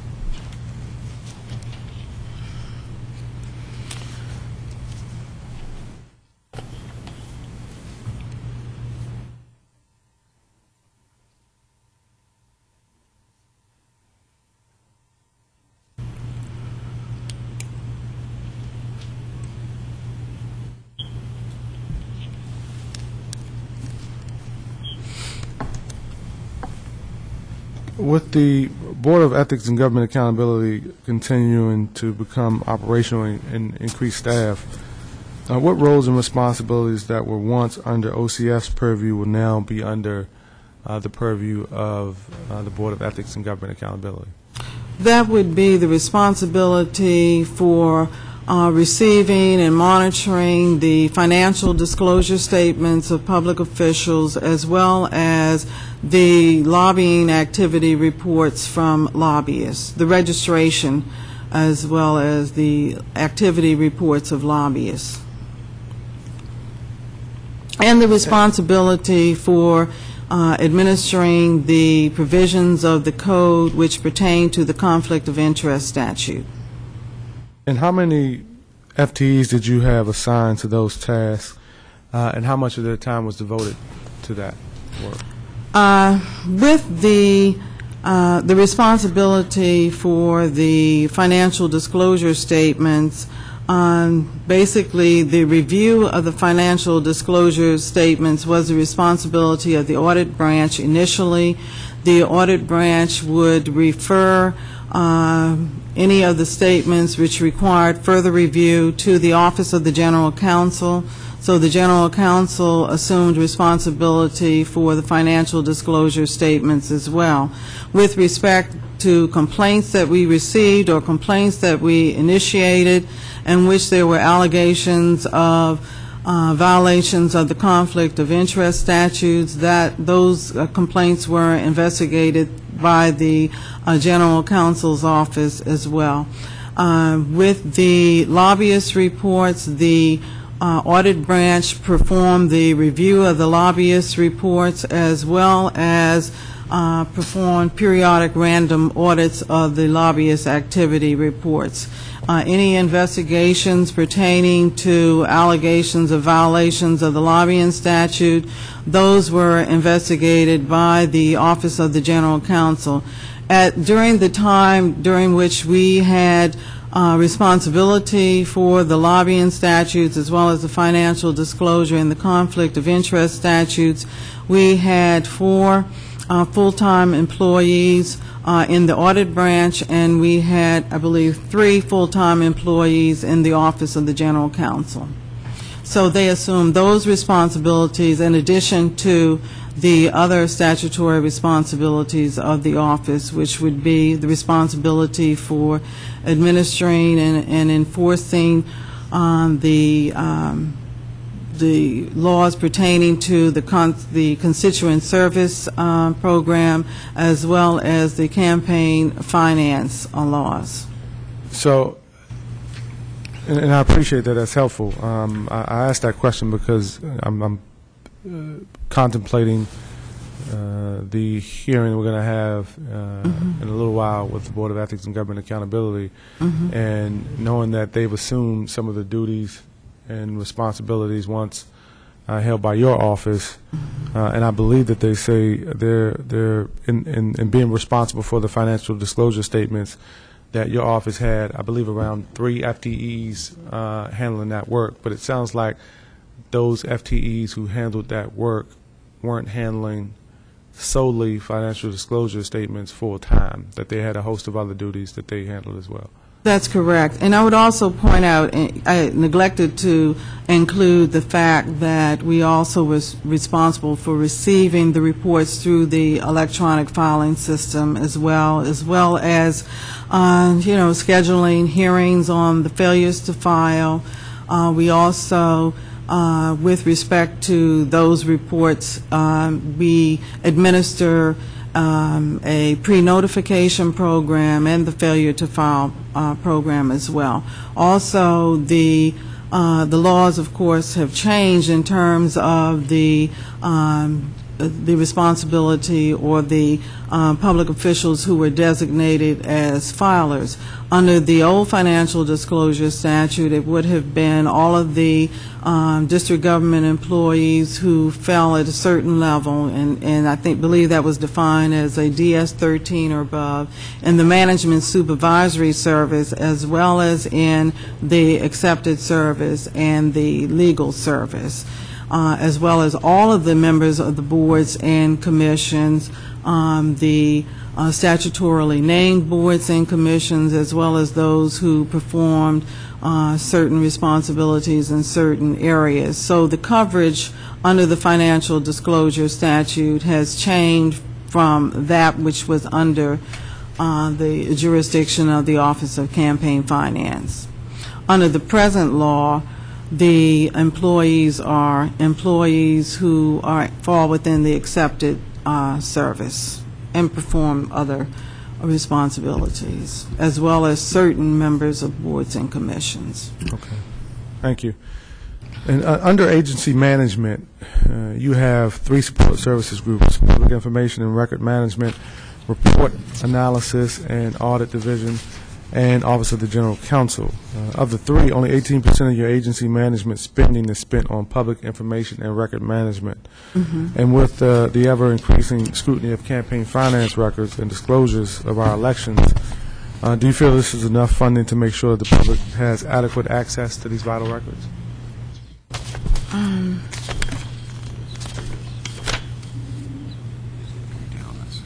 How much on each activity? I'm sorry, could you repeat your question? Sure. I I just identified uh, those three support services groups under agency management, uh, and it's public information, the record management is one, Report Analysis and Audit Division is the second, and Office of General Counsel is the third. Yes. And uh, of those three, only 18% of your agency management spending is spent on public information and record management. And so I wanted to know, uh, you know, given uh, the increasing scrutiny on campaign finance records and disclosures, whether or not you thought that was enough funding uh, to make sure the public has adequate access to the records. Yeah, I, the, the funding is adequate. The, also the electronic filing system is managed through the Public Information and Record Management Division as well, as well as the, uh, website. And, and- and currently, does the law still allow campaigns and other uh, organizations to file physically within the office? Yes. Okay, okay. And so within your, your key performance indicators, you state that your FY13 projection for the percentage of financial reports filed electronically is 80%. Uh, Your FY14 projections are 90, and FY15 projections are 95. And I was uh, hoping that you can explain how you hope to meet these projections based on the current landscape. Well, with the filing of the reports, um, the the reason why we're able to make those projections is because uh, with every uh, fiscal year, we have seen a substantial increase uh, in terms of the numbers of reports that are electronically filed, and we saw a significant increase when we provided for the certification functionality. Prior to that, we required that reporting entities file the original with the uh, signature of the uh, treasurer, Uh, and that apparently had an impact on the use of the electronic filing system. But with the introduction of the certification functionality, the reports, the filing of the reports has steadily increased um, through the years. The lowest uh, use of the electronic filing system was with the- the lobbyists. Okay. And you you noted in your testimony that there are plans to, to build out uh, at the current location uh, in the Reeves Building, uh, and I believe you said it's going to accommodate approximately nine uh, Yes. staff members. Uh, What's the time frame on that? And is there any discussion with, with DGS about consolidating your office with, uh, is there any continuing discussion, because I know there's been discussion in the past, Yes. with Department of General Services about uh, trying to bring your office together with the Board of Elections? Well, um, with respect first to the space on the third floor, um, the uh, Department of General Service, the actual renova- renovation of that space was to commence this week, and we have been given a time frame of approximately two weeks for the uh, construction to be finalized. In terms of the move of the Board of Elections and the OCF into one space, uh, the the first uh, challenge would be to actually locate a space that would house uh, both of the agencies and also, um, I guess, based on the needs of both of the agencies. So that is the initial challenge, and I believe that uh, the Department of General uh, Services is looking into that. They have not identified any space as of this point. Uh, We have been meeting, you know, they have met with both agencies to look at our spaces and also to discuss our staffing levels as well as what the uh, individual needs of both agencies would be. And they were supposed to um, provide us with estimated cost for such a move. I do not have any additional questions uh, at this time. Is there anything that you would like to add to the record uh, before we wrap up the hearing? Uh, Not at this time. Okay. Well, thank you so much for your testimony, uh, Director, and and thank you for the uh, testimony of the staff. Uh, I really appreciate it. Thank you.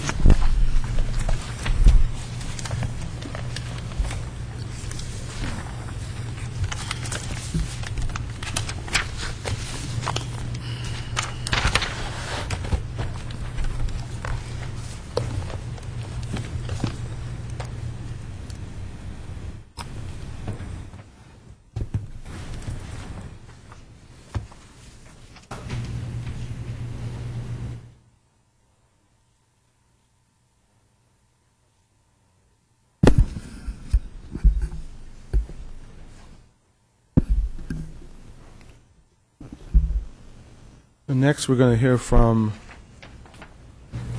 public witnesses with respect to the Office of the Inspector General. The mission of the Office of the Inspector General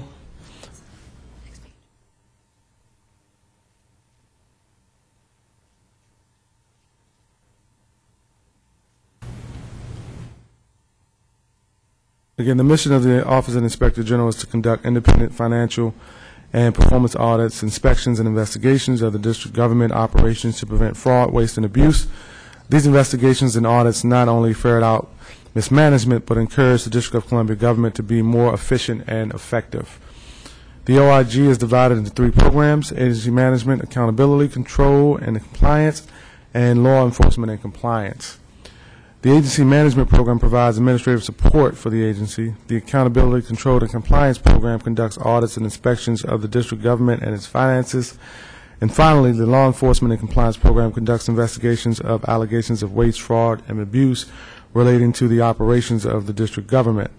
The law enforcement and compliance program includes a Medicaid fraud investigation unit that is partially federally funded. To ensure the OIG's independence, district law mandates that the Inspector General be appointed for a six-year term without regard to party affiliation, and that the IG can be removed from office only for cause. The Inspector General's proposed FY 2014 gross budget is $15,947,792, which represents a 1.7% increase over its fiscal year 2013 approved gross budget. With that, uh, I'll ask to hear first from our public witnesses and signed up to testify on the Office of the Inspector General are Michael Sindram and Geraldine Talley Hobby. If there are any other public witnesses who'd like to testify with respect to the Office of the Inspector General, please come forward at this time.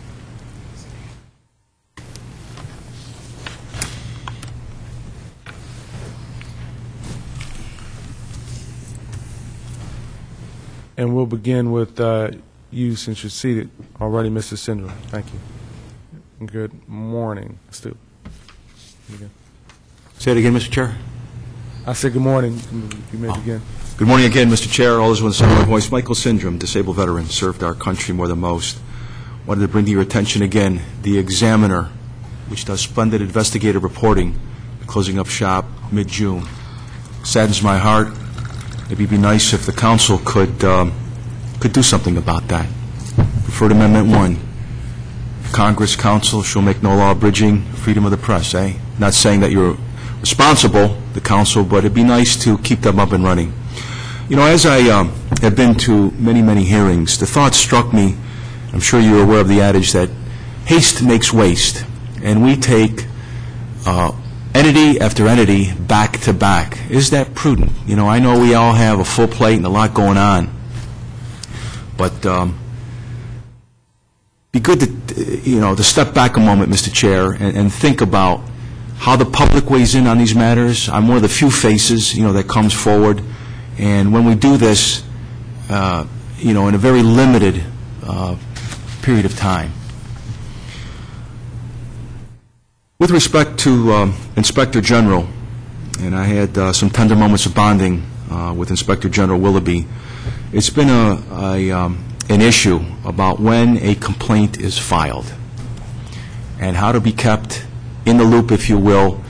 I've made a suggestion, and I'll renew it again, to have a letter of acknowledgement with an assigned case number and assigned investigator. Um, Inspector General Willoughby counters, well, you can phone in on the hotline, you can email, and I happen to be cybernetically challenged, and there's a number of us who are, so that's not a viable option, or you can walk in, to which I reminded the uh, good Inspector General, I don't live around the corner. But I uh, offered, how about doing an in-house visit? Eh? That would be uh, a good idea. That would be win-win. Could meet face-to-face with the constituency, right? And we know full well, Mr. Chair, you can't cross-examine a piece of paper and open a door to some hospitality, I didn't say hostility, and to get, uh, you know, to get to the community a little bit better, uh, Mr. Inspector General, instead of coming to a drab office usually that doesn't have any kind of sunlight and the circulation, air, air circulation is not all that good. Be good to get out in the field and see what's going on.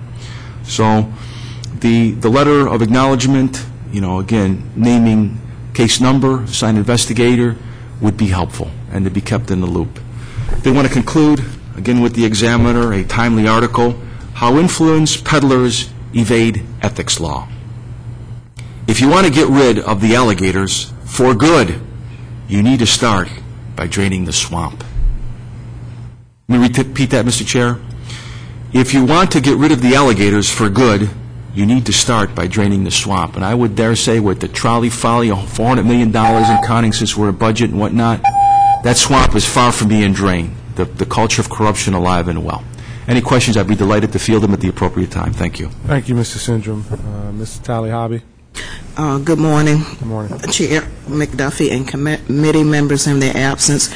To God be the glory, and God I trust. My, um, uh, Jesus is Lord. I am Geraldine Tally Hobby, a DCPS injured art teacher, and I'm speaking for the DC Injured Workers Committee, Civil Service Status Employees, Federal DC, Janice Dunbar, Charlene Morgan, Cheryl Board, John Fenwick Jr., Thelma Moore, and those deceased, Don Saunders, Geraldine Adams, and Sandra Mitchell, are my friends uh, injured employees, uh, as injured employees, we, we uh, will give our information again to, um, to the, the IG and also to you to review so some action can be taken.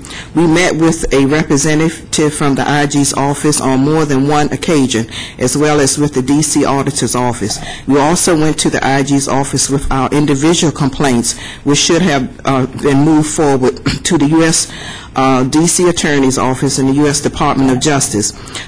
Complaints range from a series of personal personal issues as well as overall issues.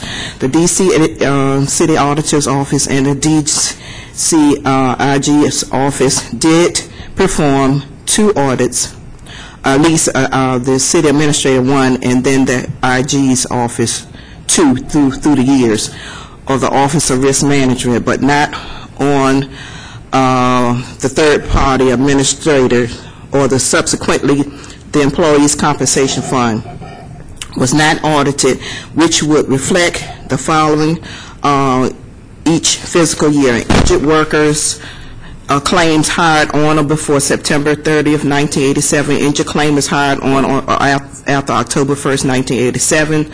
Uh, Claim benefits reduced with reasons, claimants' uh, benefits suspended with reasons, and claimants' benefits terminated with reasons, and with statistical data uh, uh, is essential to tracking employees as well as projecting the budget.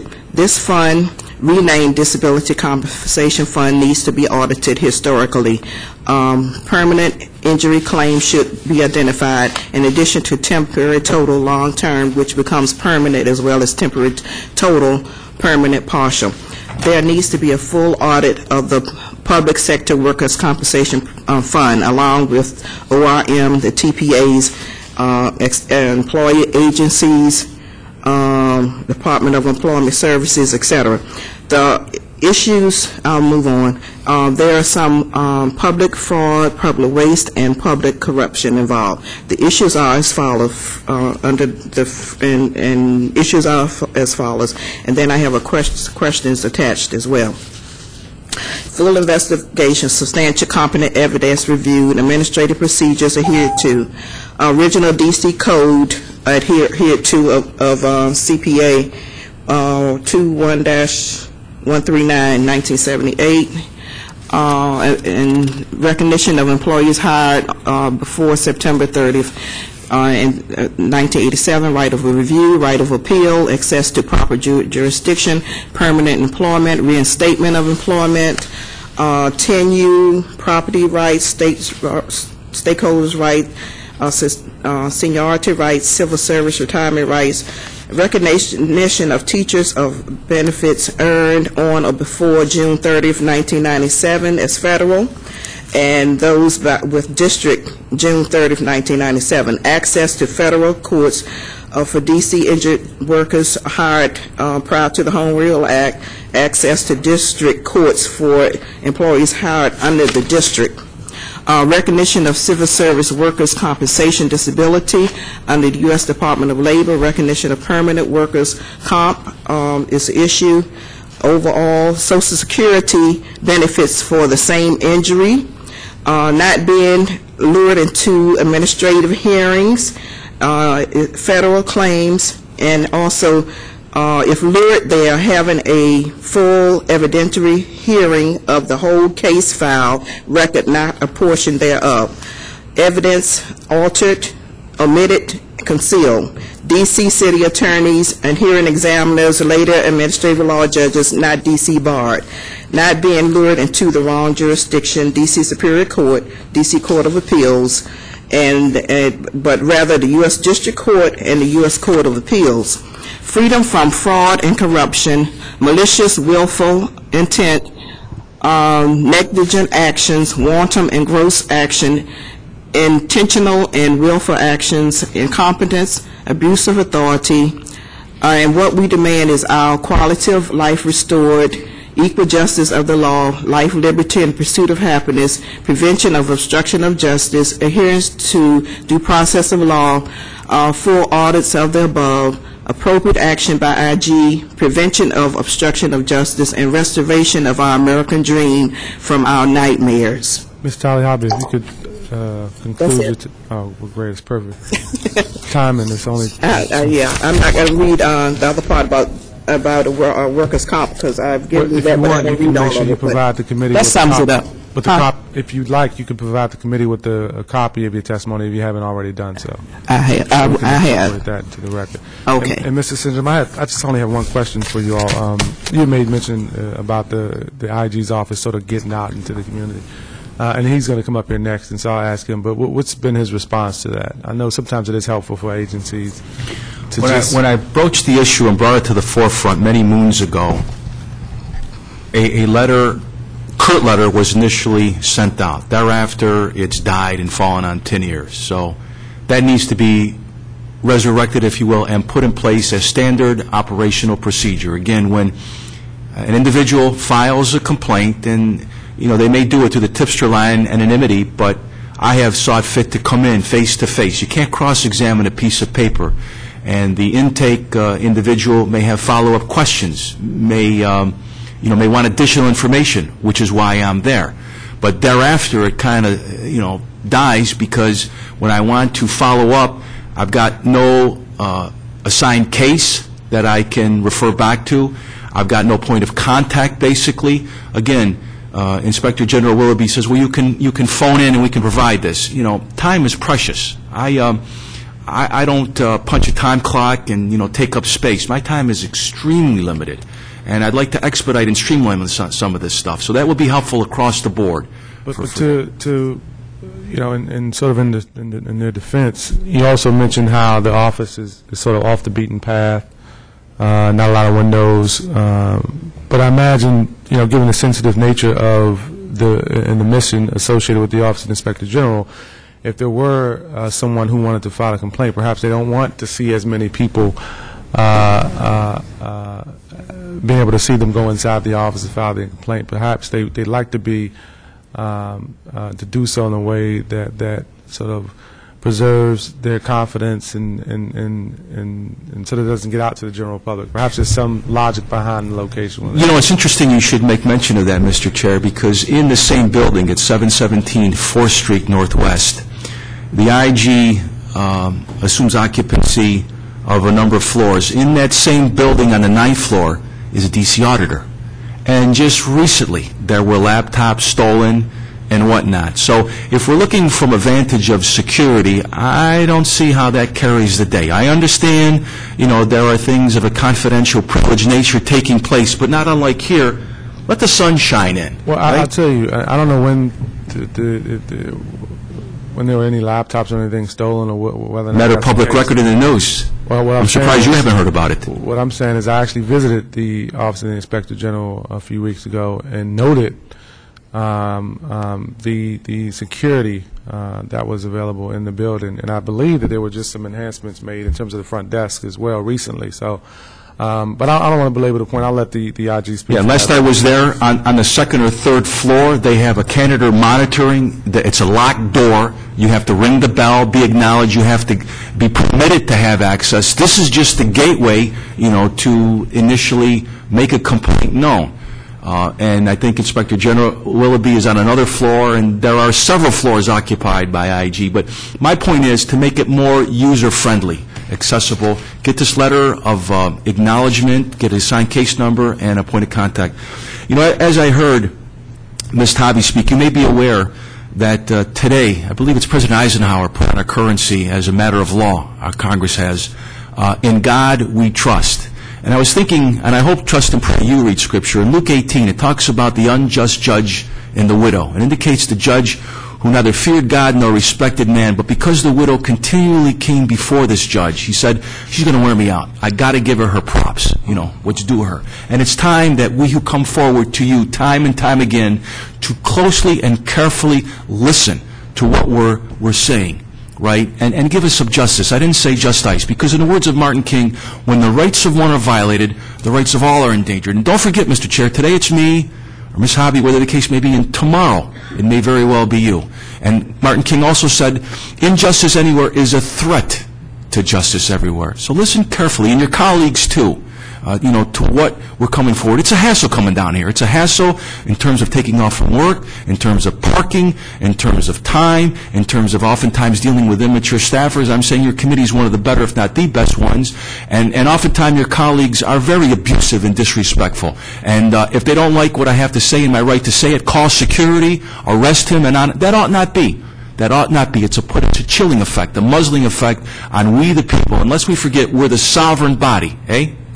Thank you, Mr. Sindram, and thank you, Ms. Tally Hobby. Obviously, I don't, Can I say one thing, please? Um, sure, go The ahead. policies, procedures, practices, and the process of the law within the IG's office needs to be transparent and clarified, because we went in there with our, um, with our complaints, and they were not processed fully to the extent of the law. And they have people who can arrest people there, uh, the IG's office has that authority, and if he doesn't have enough money to do that, the particular job to investigate these agencies, he needs to get additional money from the district or from the federal government for our protection, because we shouldn't have to go through this, and as long a duration as we have gone through from mayor, from mayor to mayor to mayor, Let- let me ask it you- doesn't mean, make any sense. let me ask you specifically, you said that the policies and procedures need to be clarified. What specific policy or procedure? Of that office. But Uh, The policies, procedures. in general? in general of, of their office to carry out complaints. And like um, Mr. Sindram said, complaint numbers, because uh, often they don't give you complaint numbers. Sometimes they'll send you something back and they'll black it out because they said you, you, uh, the public is not uh, supposed to have that information. But this is public agencies. These are not private agencies. The public should be aware and and information should be transparent of everything they do in that office, because they're, they're the only agencies that we have protection from, from uh, these violations within the district, enforcement of the law. It- It's also an agency that, that at times it's- it is appropriate to redact certain information from public view uh, when they want to protect uh, the identity or information uh, that's part of an, uh, an investigation. names. So there, there are occasions where that is appropriate to do so. Uh, I'm not familiar with, with the information Right. that you received and whether it was appropriate or not, but I just wanted to put it out there Okay. that it is appropriate to redact uh, certain information at times. So. the operative word, Mr. Chair, at times, on occasion, but this seems to be an ongoing pattern of conduct, as Ms. Hobby points out, to redact information that is not confidential, that is not privileged, and, um, you know, ought not be. As has been said, the art of good governance, accountability, rule of law, and transparency, and we're, we're talking about budget here. If we can pour 400 million into trolley folly in counting, then we should have enough ducats for Inspector General Willoughby and all the rest of the agencies, you know, that, that are in dire, desperate need of adequate funding. That 400 million for the trolley folly is just not going to cut it. And I don't know why it's being pushed, because a couple status quo monarchical elitists are being unjustly enriched. And as we speak too, Pepco, which is greedy, I didn't say needy, undergrounding on our dime, extremely expensive, and on and on and on. But again, where, where you sit depends on where you stand. And you can bring, you know, the, the integrity of the council, and, and the chair says it's tarnished. No, it's obliterated. Well, Okay? thank you, Mr. Sindram, and thank you, Ms. Tolly Hobby, for Thank your you. testimony. I don't have any additional questions at this time.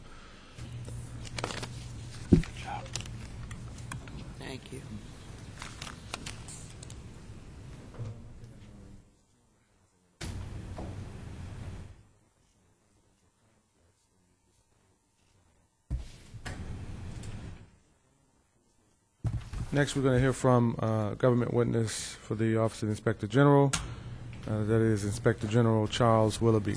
And if you could please, uh, both of you remain standing and raise your right hands before you be seated. Do you swear or affirm under penalty of perjury that the testimony you're about to give to the Committee on Government Operations is the truth, the whole truth, and nothing but the truth? I do. Thank you. Please uh, be seated. You can begin, uh, Mr. Inspector General, whenever you're ready. Thank you, Mr. Chairman.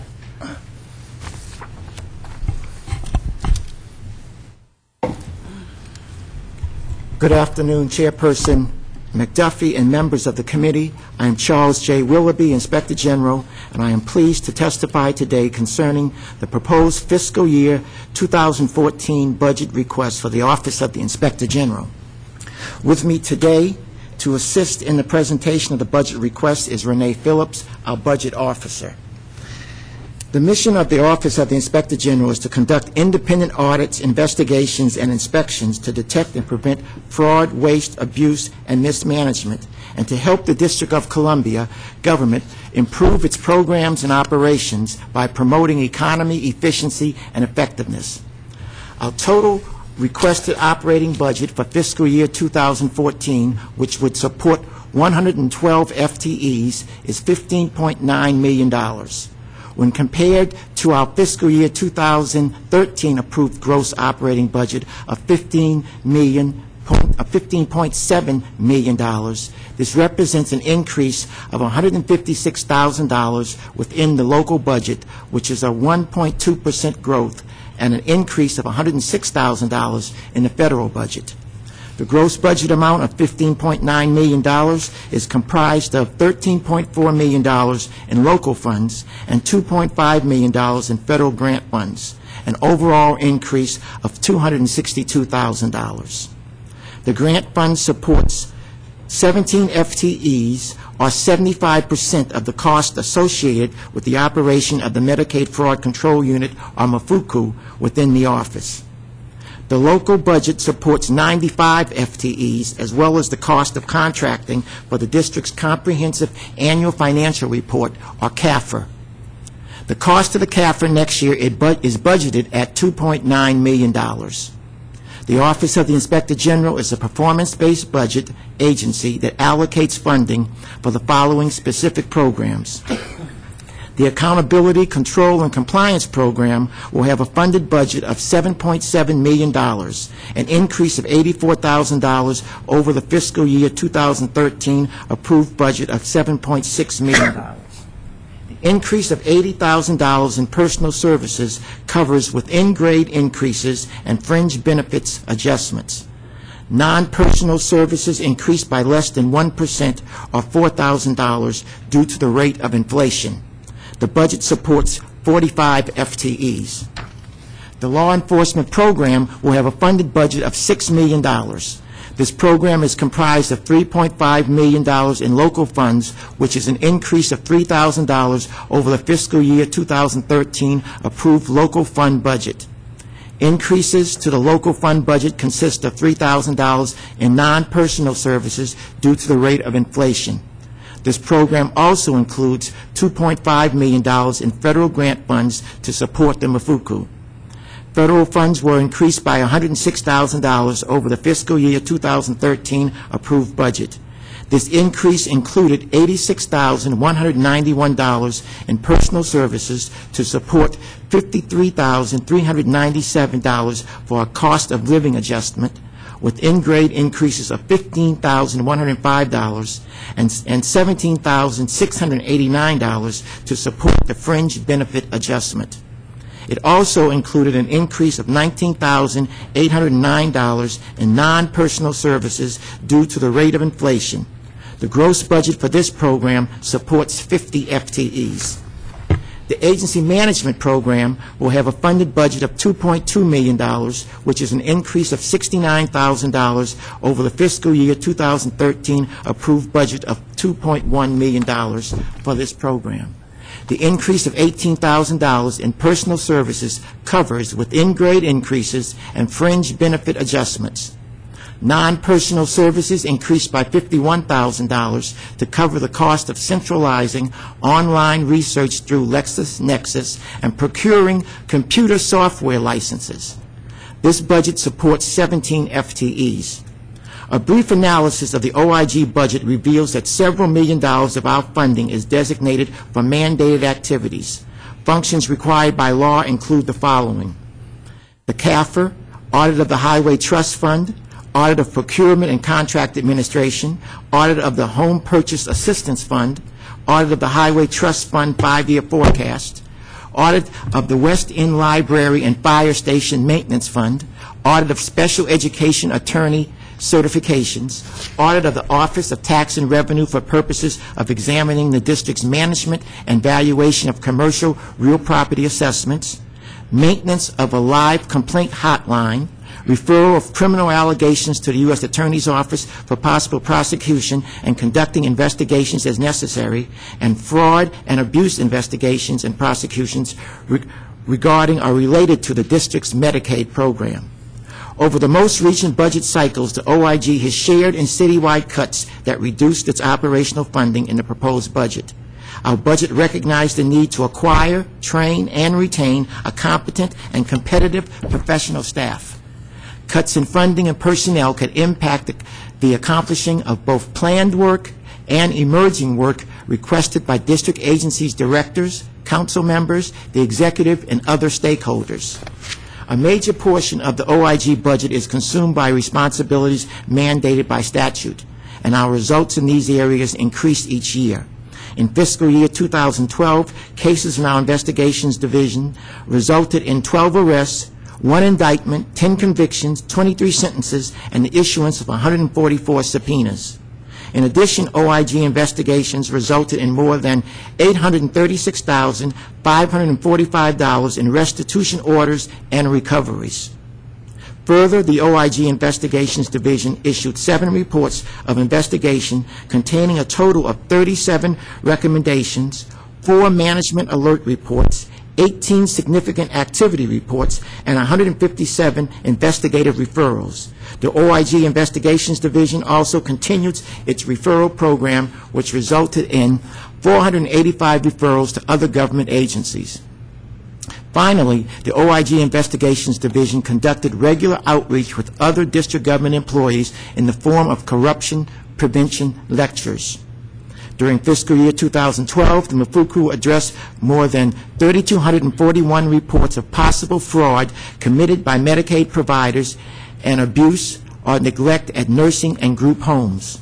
In addition, the MFCU obtained five criminal convictions, three involving fraud against the Medicaid program, one for neglect of an elderly person residing in a long-term care facility, and one for sexual abuse of a vulnerable adult. A MFCU attorney who was detailed to the United States Attorney's Office to work on Medicaid fraud matters was co-counsel on a criminal matter that resulted in a provider's conviction on 35 counts of fraud against the Medicaid program. The MFCU maintains more than 250 open qui tam matters.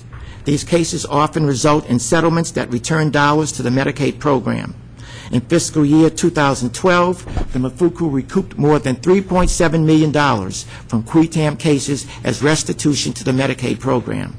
Discretionary work conducted under the OIG's compliance program is also significant.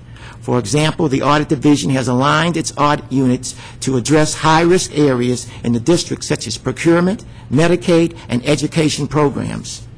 For fiscal year 2012, the Audit Division issued 28 reports with total potential monetary benefits of approximately $75 million. When comparing these potential monetary benefits to Audit Division costs of approximately $3, $3 million, the, the, the result is a return on investment for audits performed, performed by OIG audit staff that approximates $25 for each dollar invested. In light of continuing economic conditions, the Audit Division agreed to eliminate audit positions, yet continues to remain proactive with limited resources. The Inspections and Evaluations Division, or I&E, is tasked with conducting inspections and re-inspections of district agencies, as well as special evaluations requested by both the council and the mayor. Since the date of last year's budget hearing, I&E has issued 14 reports that presented a total of 55 findings and 104 recommendations aimed at improving district agencies' internal operations and the services they provide.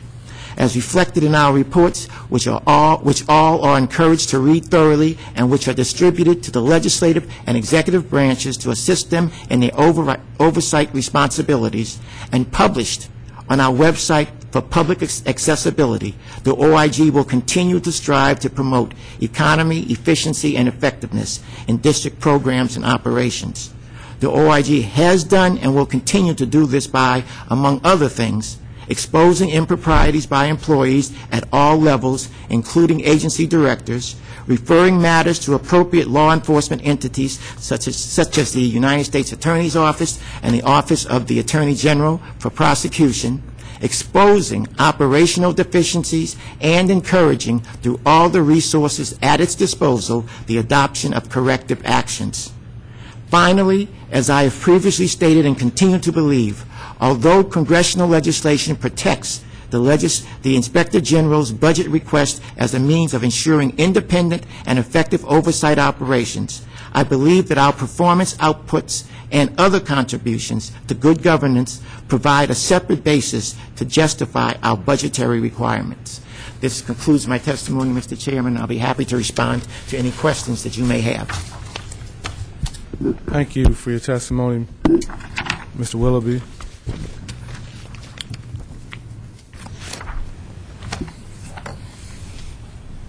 And uh, I want to begin my questioning uh, with respect to the uh, Accountability, Control, and Compliance Program. Your fiscal year 2014 budget for the Accountability, Control, and Compliance Program includes an additional $62,000 for audits and I believe this is on page A-229 of the budget book. How will this uh, increase be utilized? Compliance, uh, 62, yeah, Uh, right here, Okay. okay. Just a moment. Sure. That, uh, this, this amount is basically contribute to the um, fringe benefit adjustments, and also, uh, we had uh, increases in NPS, about 1% to cover the cost of inflation. So, but the majority of it is for the fringe benefit increase. Okay, and do you feel, uh, Rate. do you feel you have sufficient resources uh, currently, or as proposed for 2014, to uh, accomplish the uh, audit responsibilities of your office? Yes, I do. As I, as I testified before, it, the, the challenge is to do things in a streamlined fashion. So, so therefore, we realize that. I mean, in, in, in, in a public entity such as this, it's, it's, um, that we have to learn to do as much as we can within our budget, and, and this office will, um, continue to perform its mission, um, with the funds, um, um, that have been, um, designated for its fiscal year 2014 budget.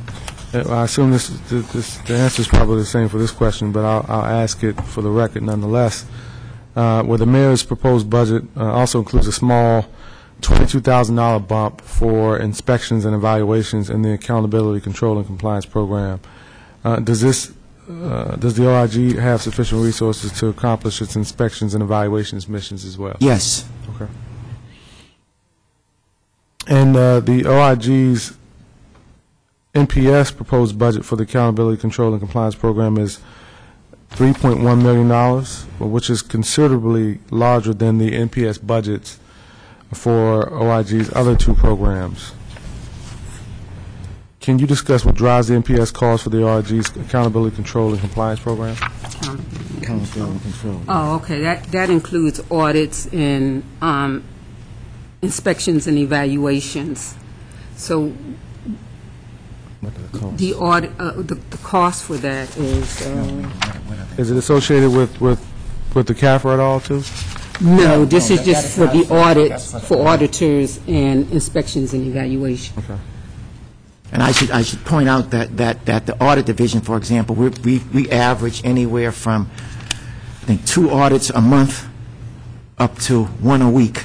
Since during my tenure, we've gone from 20-something up to 51, something like that during a period of time. Right, and we have 45 FTEs that's under that program.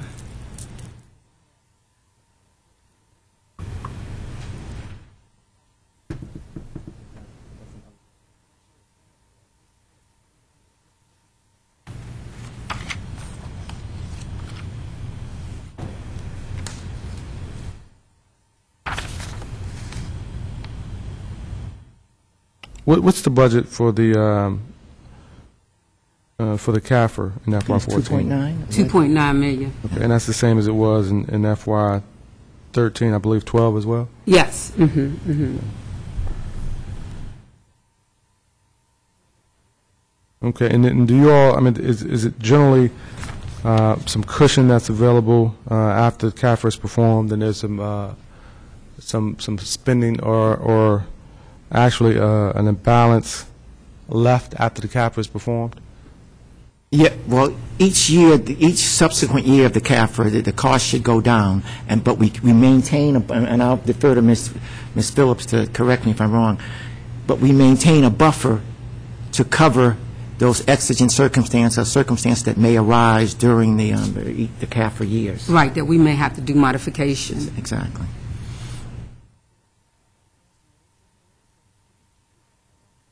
I guess the answer to this question was yes, then, huh? yeah. Yes. He said, that, do we have a, yeah. Yeah.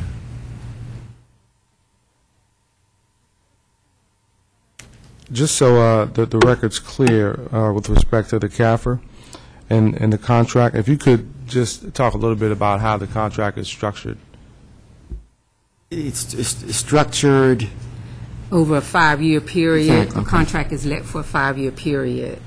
And with each uh, year, the contract has to be modified, and because it's over a million dollars, it has to go to the council for approval. Okay. And I do believe that the, uh, this year for 2013, it has already been through the council. yeah, is- is- that's correct. You know which year uh, in the contract we're, we're we're in? We're in 2013. Yeah, but what... What year? Oh, I'm sorry, it's the, thir- it's the third year. Third year, on five this- years. On this uh, contract. And focusing for a moment on the, on the office's accountability, control, and compliance program, FY fourteen uh, spending plan for training. For FY fourteen, you allot forty-eight thousand for training, divided evenly over each quarter. Uh-huh. Could you describe uh, what sorts of training your employees are receiving, Mr. Willoughby? Yes, the auditors, this may, oh, Oh, Well, well, the auditors are required, under their standards of conduct, I think it's Yellow Book standards. Yellow- Yellow Book, Yellow- mhm. To um, uh, uh, receive training each year on an annual basis. Okay. So- So it's... keep it's- their To keep their certification. certifications to- to Is it, perform. is it sort of a standard training? Does that, does it, is it the same thing they get every si- single year, or is there something different? no, as long as they have the hours, the the necess- the required hours, because I think every year they have to have so many hours in training. But it all have to be audit-related or accounting-related. Okay, so it could be different training that the... Yeah, exactly, I was going to say, it's it's something akin to like CLE training for Sure. attorneys, exactly. That's- Okay. that's- And do you know how much um, of, of, of the program is expended on training in FY thirteen to date? To date,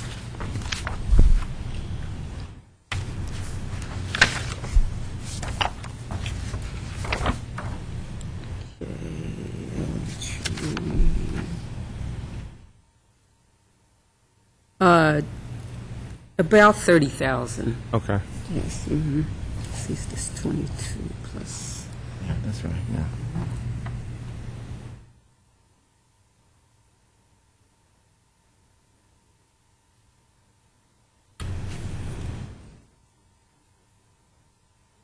In the mayor's proposed budget, the allocation for the law enforcement and compliance program is six million, uh, it's a little over six million dollars.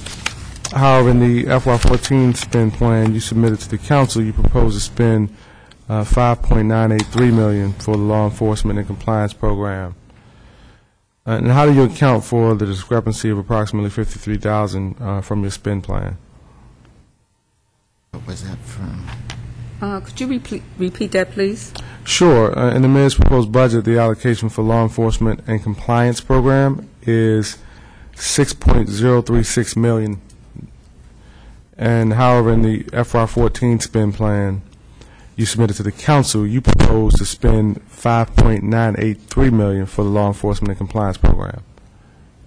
Oh, okay. That was for FY13, our proposed budget was 5.9, and FY14 is 6 million. He's saying one, two, where's the mayor's?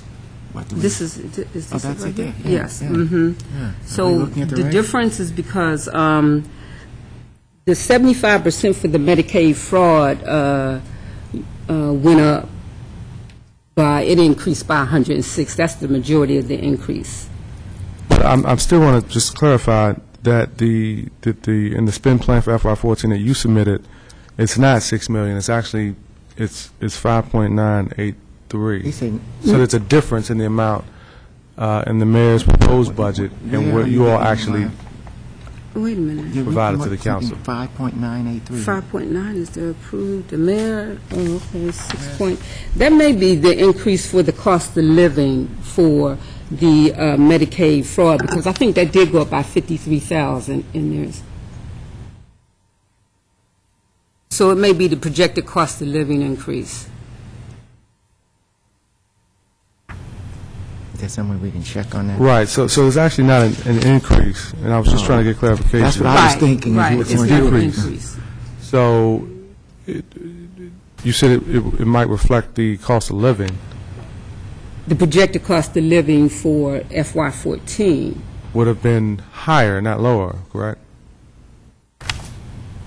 right. Just so I'm fully on, on, on the same page, you're saying that what the mayor Because- proposed was 5.983? Well, the mayor proposed 6.036, Three okay. Right, okay, so that's for, um, um, that is our proposed budget okay? for FY '14. But when you look at the FY14 spend plan, Oh, that you for the submitted- spend plan, oh, Sure. okay, so we're I'm- looking at... I'm just trying to the- get a handle on what the, Exactly. what the Right, difference between okay, those so two let's, numbers are. okay, for the spending plan, It's approximately $53,000 that I'm trying to figure out.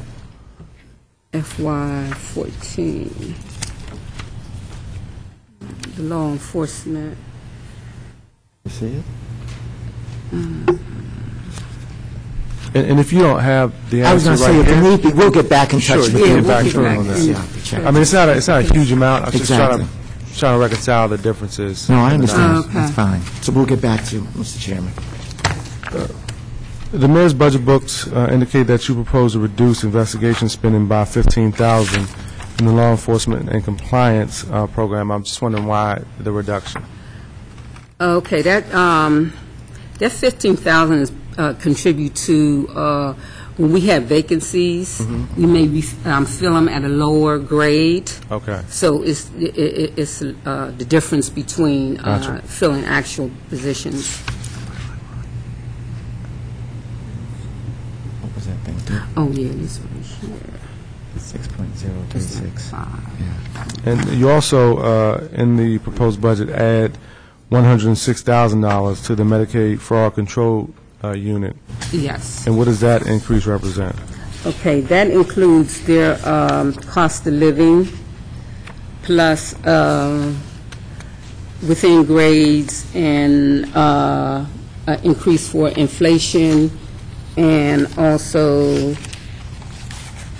yeah, I think that, That's tied in with It's the in your- the gr- the your grant. testimony. Yeah, I know, but I know, but it's it's tied in with the grant increase by the... yes, federal uh-huh. government. So it represents the COLA and the inflation? It- Right, exactly, and the within grades. Okay.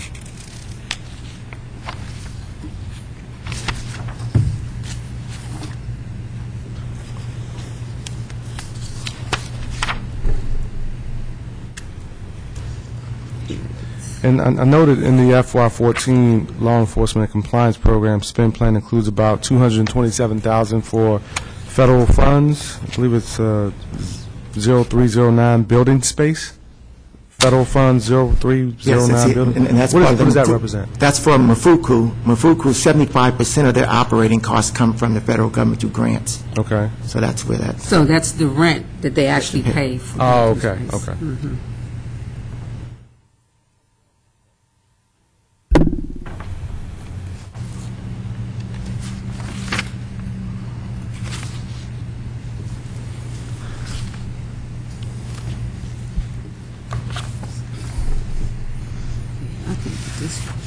space. And we just finished the second quarter of fiscal year 13, um, where, where are you in terms of actuals for fringe benefits in FY 13?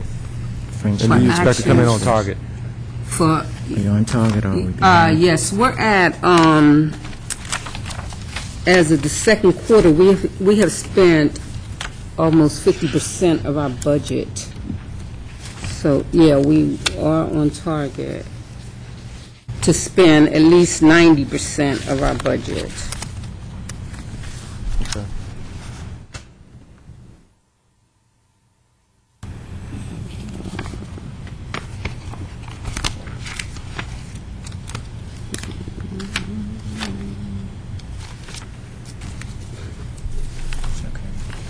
Yeah. And I want to shift your attention to uh, vacancies.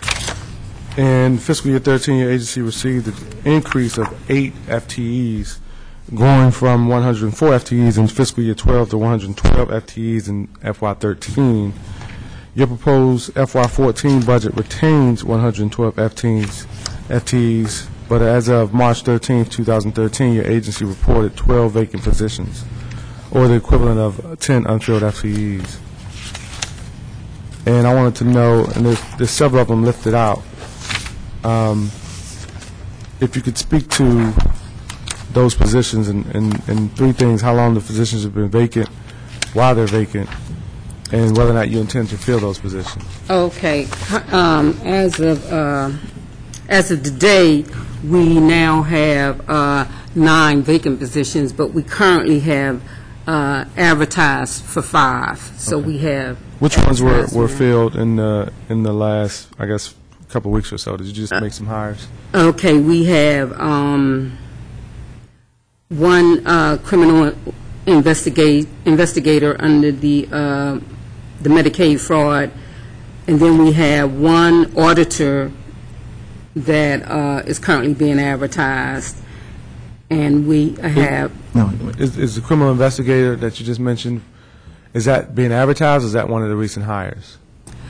We, we, it shows for us, we, sh- we show 12 vacancies, and you said there, we have okay, nine. we have currently. nine, we have currently. nine, nine currently. Yeah, so it's three of them. Oh, okay. Okay, so we've hired three, because we have nine, yeah. Tell them which three. Which The three? criminal Oh, we- the- the- investigator, The three was criminal investigator, right? if you could just say your name for the record, if you don't Yes, mind. um, Blanche Bruce, uh, uh, Deputy Inspector General. We recently, Put the mic, I'm sorry, thank you. uh, Blanche Bruce, Deputy Inspector General. is that on? Press it, the light should be lit. The light. Push that, push in the center. Yeah. Uh, Blanche Bruce. Thank you. Okay. Uh, On April the 8th, we hired an administrative officer. Um, On that same day, we hired a um, management analyst in the investigation division. And uh, today, we hired a administrative, uh, a management analyst in the inspection and evaluation division. So we've had uh, three hires. We currently have five positions posted on the DCHR website. Uh, That would be uh, two investigators in the investigation division, one investigator in the Medicaid Fraud Control Unit, um, and one au- a management analyst in the inspection and evaluation division, and an auditor position.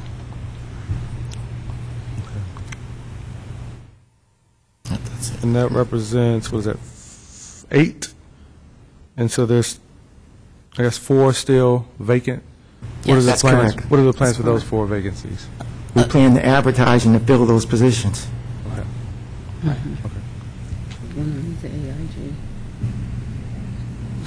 And do you know how long those, the four that haven't yet been advertised, how long they've been vacant?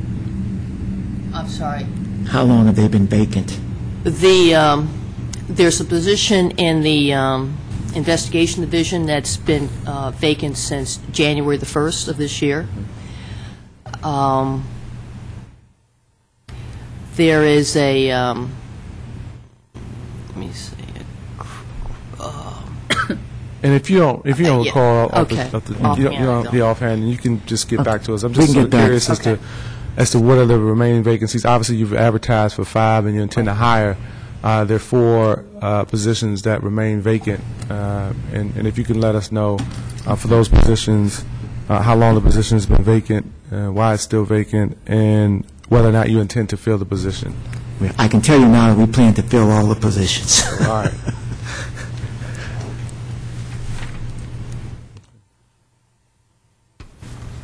Actually, I mean, your, your budget is, is, is pretty stable, and so I Yes. didn't have a whole lot of questions No. for, you- for you, uh, Mr. Willoughby. Uh, I do appreciate your testimony here today. Do you have any, anything that you want to add to the record uh, before we conclude the hearing? No, uh, um, um, I guess I I will say this um, in reference to, I guess, um, s- some of the- the the public testimony. We do acknowledge the receipt of complaints that come in. Um, w- w- We have uh, uh, an automated system if it if it comes in by- via email. Um, We do have a number of outreach. I do go out in the community myself. I mean, I go out to a number of senior seminars. I've- I've gone out to um, some ANC meetings, um, that sort of thing. Um, The other thing, I I think it's important, a- and because I I understand the concern, particularly, um, I guess with respect to Ms. Hobby, um, we did attempt to provide assistance. We cannot represent individuals individually in their personal administrative matters that they have. But we do try to use the- the resources at our disposal to assist her, and I think she indicated that by the fact she indicated we've done at least two audits. Um, I met personally um, with Ms. Hobby's group um, several, a couple of years ago, and we were trying to explore ways that we could provide assistance. Um, And I say that because in addition to what our mission statement is, uh, uh, uh, is, I also believe the office has a role as a facilitator, that in those areas where we don't really have authority, or uh, uh, um, or, um, either enforcement or otherwise to do anything, I try to assist citizens by, if if something comes, is brought to our attention, we'll refer it to the appropriate entity and, and and let the citizen know that we've so referred it. Instead of just kicking it back to the citizen, we've gone ahead and referred it to the entity, because I believe that many times, the fact that an IG's office is raising an issue with an entity that may be outside of our jurisdiction will carry more weight than if just a layperson. So we try to facilitate as best we can, and I just want to to put that on on on the record. Ms. uh, Tally Hobby, as well as Mrs. Sindram, mentioned that uh, oftentimes they receive information that is so redacted, uh, and and to paraphrase, uh, for them, it's it's almost not useful, um, just because they can't really discern, I guess, the information. And and I try to uh, explain, um, just from my own experience, why agencies tend to redact information that they provide to the public. Do you want to speak to that at all as to why? Yes, because generally, I can tell, you, we have a public version, so we try to cut down on redactions. Where you may get redactions is when you make a FOIA request, and that's something that's told to people, where if they come in, we tell them that we don't give status reports for obvious reasons. And so, and, and we will tell them face-to-face that, um, we don't give status reports, but at, but at the appropriate time, you can make a FOIA, or Freedom of Information Act request, and we will respond with the documentation to give you some sense of how we're proceeding or, or how the matter was concluded. Um, With regard to um, uh, um, written FOIA requests, again, um, if you get a document, the document may be redacted, but it's usually going to be redacted, as you've indicated, to protect the identity of the individual um, and to maintain the confidentiality of it. But, um, but, our- but we we try to um, have different versions so that you- you- you're not looking at a document that's heavily redacted. Okay, and I know there's some uh, enhancements that you all are, are seeking to, to make around technology. I, I would just encourage you, like I encourage uh, uh, many of the agencies within the uh, purview of the Government Operations Committee, just to uh, just bear in mind that it's, it's helpful uh, as the public seeks to interact with their government.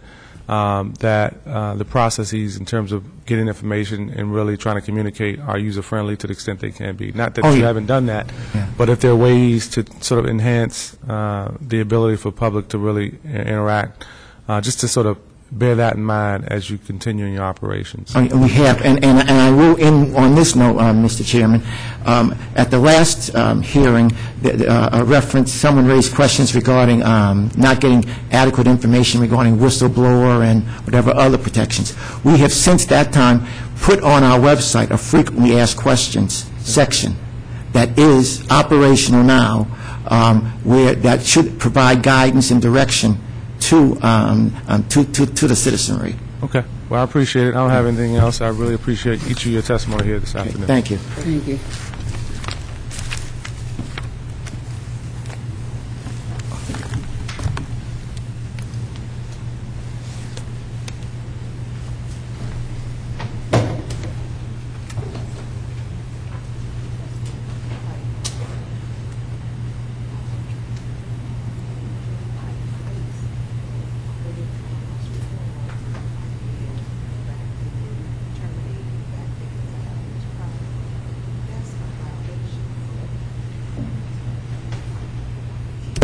Next, we're going to move on to the Board of Ethics and Government Accountability. Uh, But before we call up our public witnesses, uh, I just want to say that the Board of Ethics and Government Accountability was created uh, just 18 months ago to administer and enforce the D.C. government's code of conduct and to ensure government compliance with the district's Freedom of Information Act. The agency operates through two programs, the Office of Government Ethics and the Open Government Office, which are both overseen by the Board of Ethics. The Board of Ethics is comprised of three directors who are appointed by the mayor and confirmed by the council. In these early months of the agency's life, the board was responsible for hiring directors to oversee the Office of Government Ethics and the Open Government Office. Each of these directors is now in place, and I expect that the agency will be fully operational within the next few months. The Office of Government Ethics is charged with investigating and adjudicating violations of the district's code of conduct, which governs the ethical conduct of employees and public officials, including the conduct of the council and the mayor. Under Director Darren Sobin's management, the office has hired seven employees and is now operational and carrying out its mission. The other arm of the Board of Ethics and Government Accountability is the Open Government Office. The task of the Open Government Office is to ensure the district's compliance with the Freedom of Information Act and resolve disputes between agencies and the public regarding access to government records. This office is not yet up and running, although I understand that it is close to operational, and I look forward to hearing more about that today. Uh, This is the first budget oversight hearing of the Board of Ethics and Government Accountability since its creation, and BEGA's proposed FY 2014 gross budget is $1,218,883, which represents a 17.3% increase over its FY 2013 approved gross budget of $1,039,000. And now we'll turn to uh, our public witnesses, if there are any uh, who wishes to testify. I'll note that we had uh, three witnesses who who had signed up to testify, Dorothy Brazil, Michael Sindram, and John Rosser. I don't believe any of them are present, and so we're going to go ahead and move on to our government witnesses. Robert Spagnoletti, who's chairman of the Board of Ethics and Government Accountability, and as well as two directors, Darren Sobin and Traci Hughes. And if each of you can remain standing and raise your right hand, please.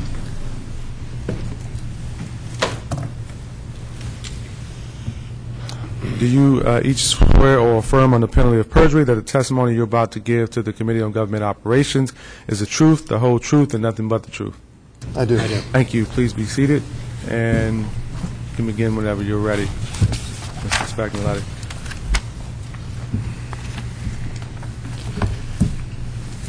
Good afternoon, Chairman McDuffie. I'm Robert Spagnoletti, Chair of the Board of Ethics and Government Accountability, and I'm pleased to be here today to discuss our budget needs for fiscal year 2014. As you know, the Board's mission is to foster high ethical standards for district government employees and strengthen the public's confidence that the government's business is conducted with impartiality, integrity, and transparency. The Board oversees both the Office of Government Ethics and the Office of Open Government. The Office of Government Ethics, or OGE, is responsible for administering the district's code of conduct, receiving, investigating, and adjudicating violations, training district employees on ethics standards, issuing rules and best practices reports governing district employees and public officials, administering the financial disclosure and lobbyist registration systems, and providing formal and informal ethics advice.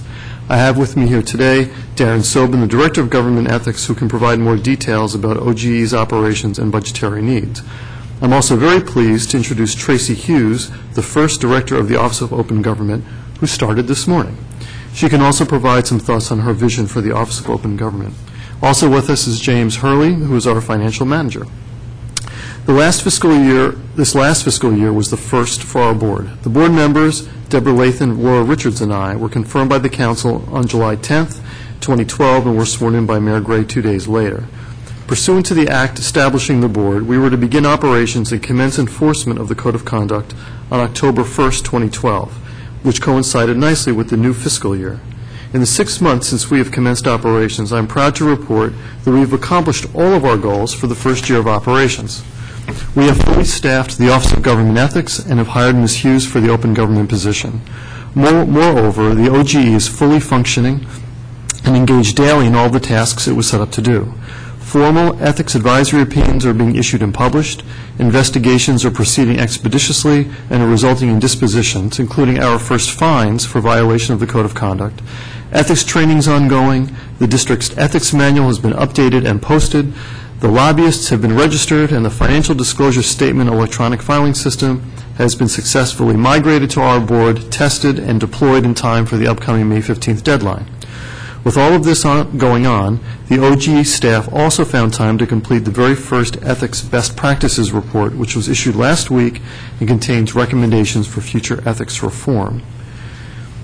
I know that during our planning stages in 2011, there was there was a serious attempt to estimate the financial needs of setting up the office and providing it with resources necessary to ca- carry out its many responsibilities. I think those planners did an excellent job at coming close to the mark in the absence of any empirical evidence. Even with some indication now, it's difficult to predict our needs 18 months out, considering we only have six six months of data. I very much appreciate that the mayor's budget gives us a 17% increase from FY 2013. That increase reflects the additional FTE of one senior-level attorney to handle Hatch Act matters, which were recently made part of the Code of Conduct and given to our board for enforcement. Prior to this, Hatch Act advice and enforcement belonged to the Office of Special Counsel of the federal government. Even with this increase, however, I believe that both the Office of Government Ethics and the Office of Open Government will need additional staff in 2014. The volume of matters for OGE increases almost daily, and Mr. Sobin can give you some comparisons to other governmental entities with similar responsibilities. He is asking for an additional staff assistant and an- and another attorney for a total of 11 FTEs. As for open government, that office is budgeted currently for only one FTE, and that's the director herself.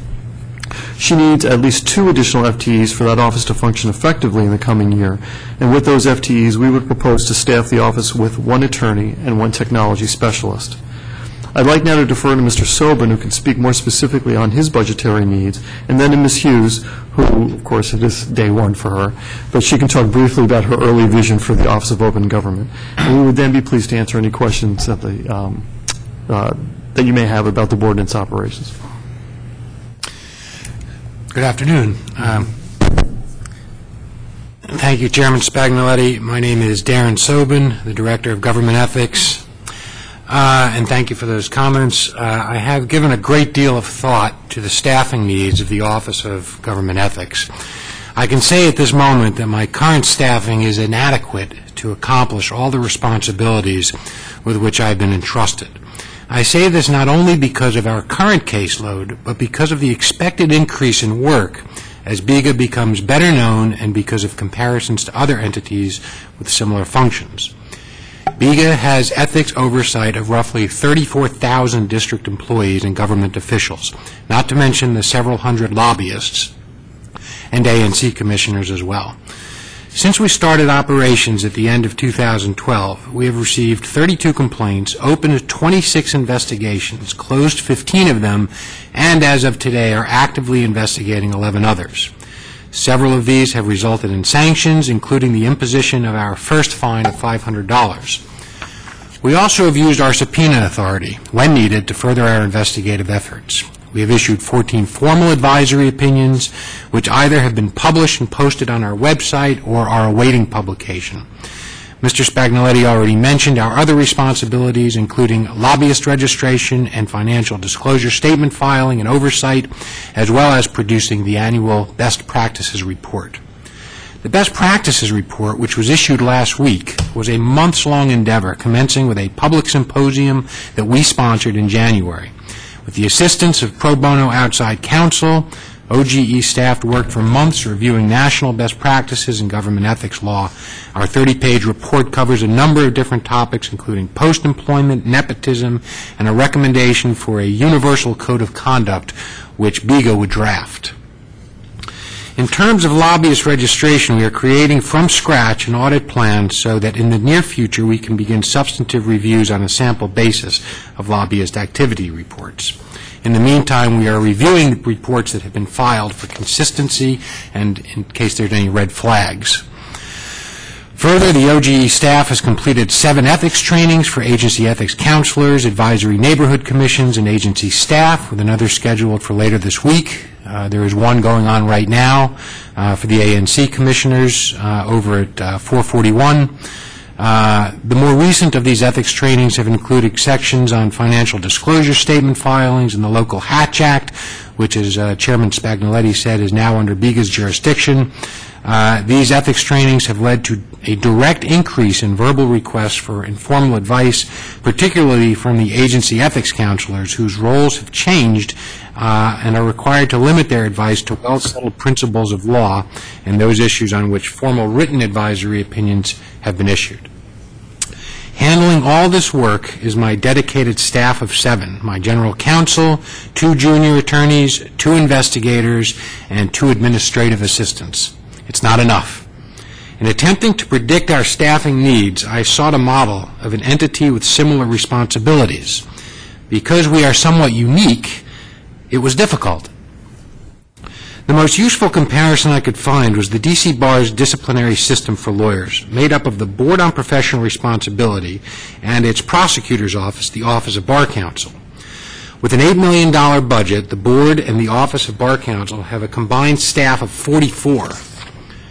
The Office of Bar Counsel alone has 17 attorneys, 12 administrative staff, three investigators, a staff attorney, and several law clerks. The Board on Professional Responsibility has nine members and nine employees, including attorneys and an executive director. To be sure, the D.C. Bar has more members practicing in the district than there are D.C. government employees, uh, 51,883 versus uh, our 34,000 number. However, I should point out that the bar's disciplinary system engages only in enforcement proceedings, unlike BEGA, which also must provide advice, training, and the other tasks that I mentioned. One of those other tasks, financial disclosure filing oversight, provides a good example of how we are understaffed. I understand that when those responsibilities belong to the Office of Campaign Finance, uh, three full-time employees were needed to operate the system effectively. Uh, I have only one individual who also serves as the BEGA receptionist. At the moment, we are keeping up with our tasks. Advisory opinions are being issued in a timely fashion. Investigations are proceeding, and my entire staff is pitching in to implement the financial disclosure filing system, including notification, so that district employees and officials can meet the May 15th filing deadline. And I will note that uh, all letters went out on Friday uh, about how to use the new electronic filing system.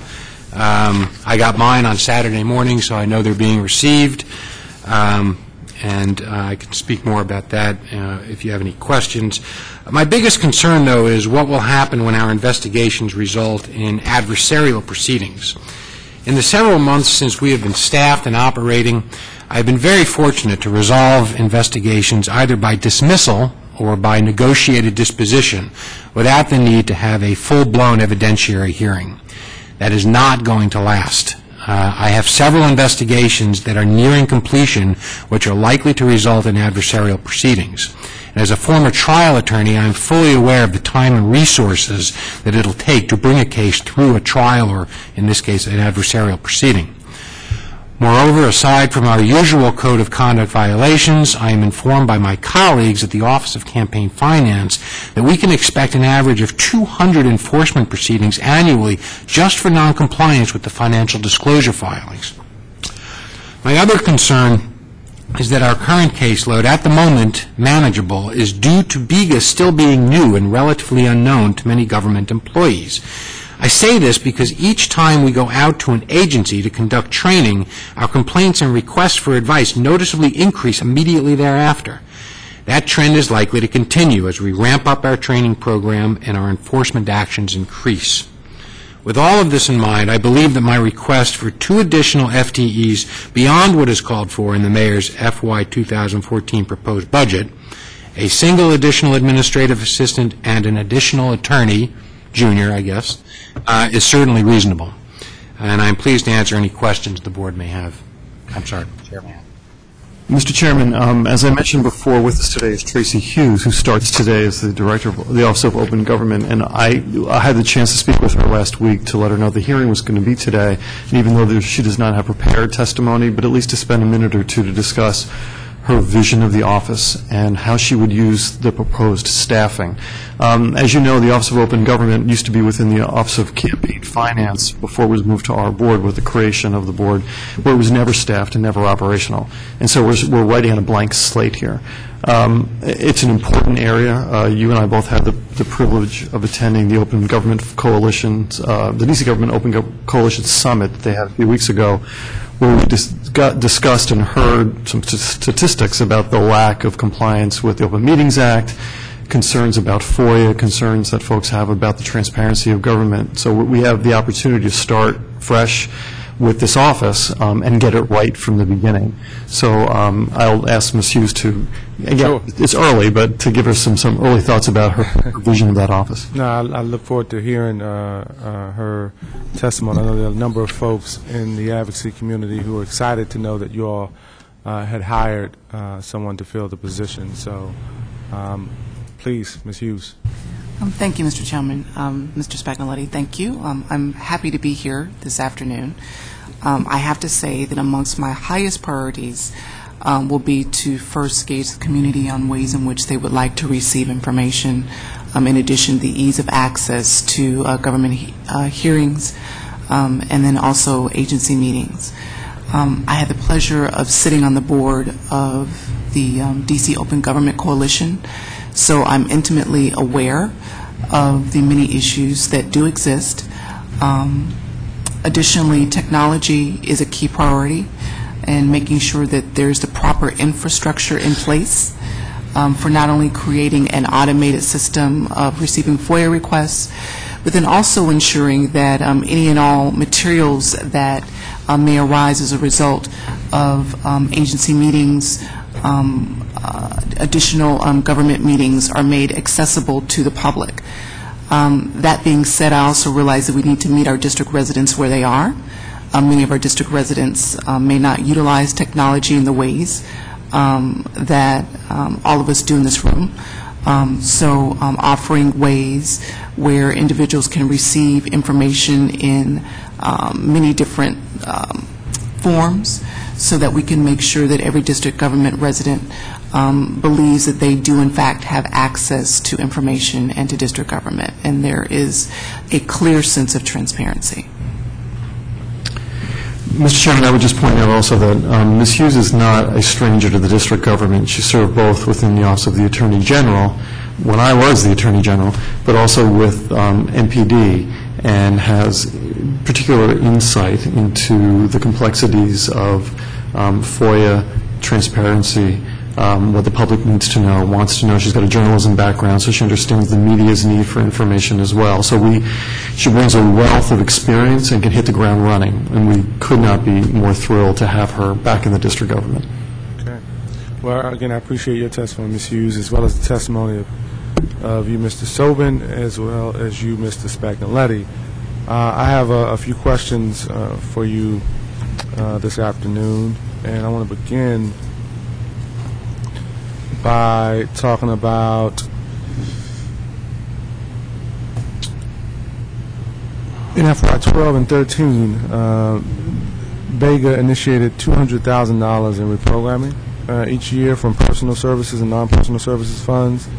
And I think I have an, uh, an idea of, of what that's about, but I'd like to, to, to see if you all could please explain uh, why these repro- reprogrammings were necessary. Sure. So we were, as I mentioned before, we were sworn in in July, Um, and at that point, there was no board. Um, There was nothing. So we had no space, we had no supplies, we had no computers, we had no anything. But because there was funding for uh, uh, personal services for the previous fiscal year, for 2012, we wanted to make as much use as we possibly could out of that money so that we could use it for startup costs, to, you know, to buy stuff, if you will, and it had a very small NPS budget. So we asked for the reprogramming in 2012 for that reason.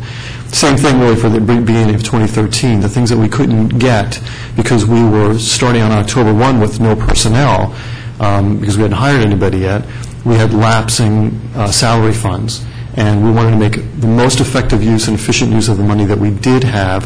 We had to do, we had to do some um, renovation in the space that was given to us by DGS over at 441 4th Street. We had technology needs. We also significantly had to migrate the financial disclosure and lobbyist registration system, the online system, from Office of Campaign Finance to us and make all the changes to comply with the new law.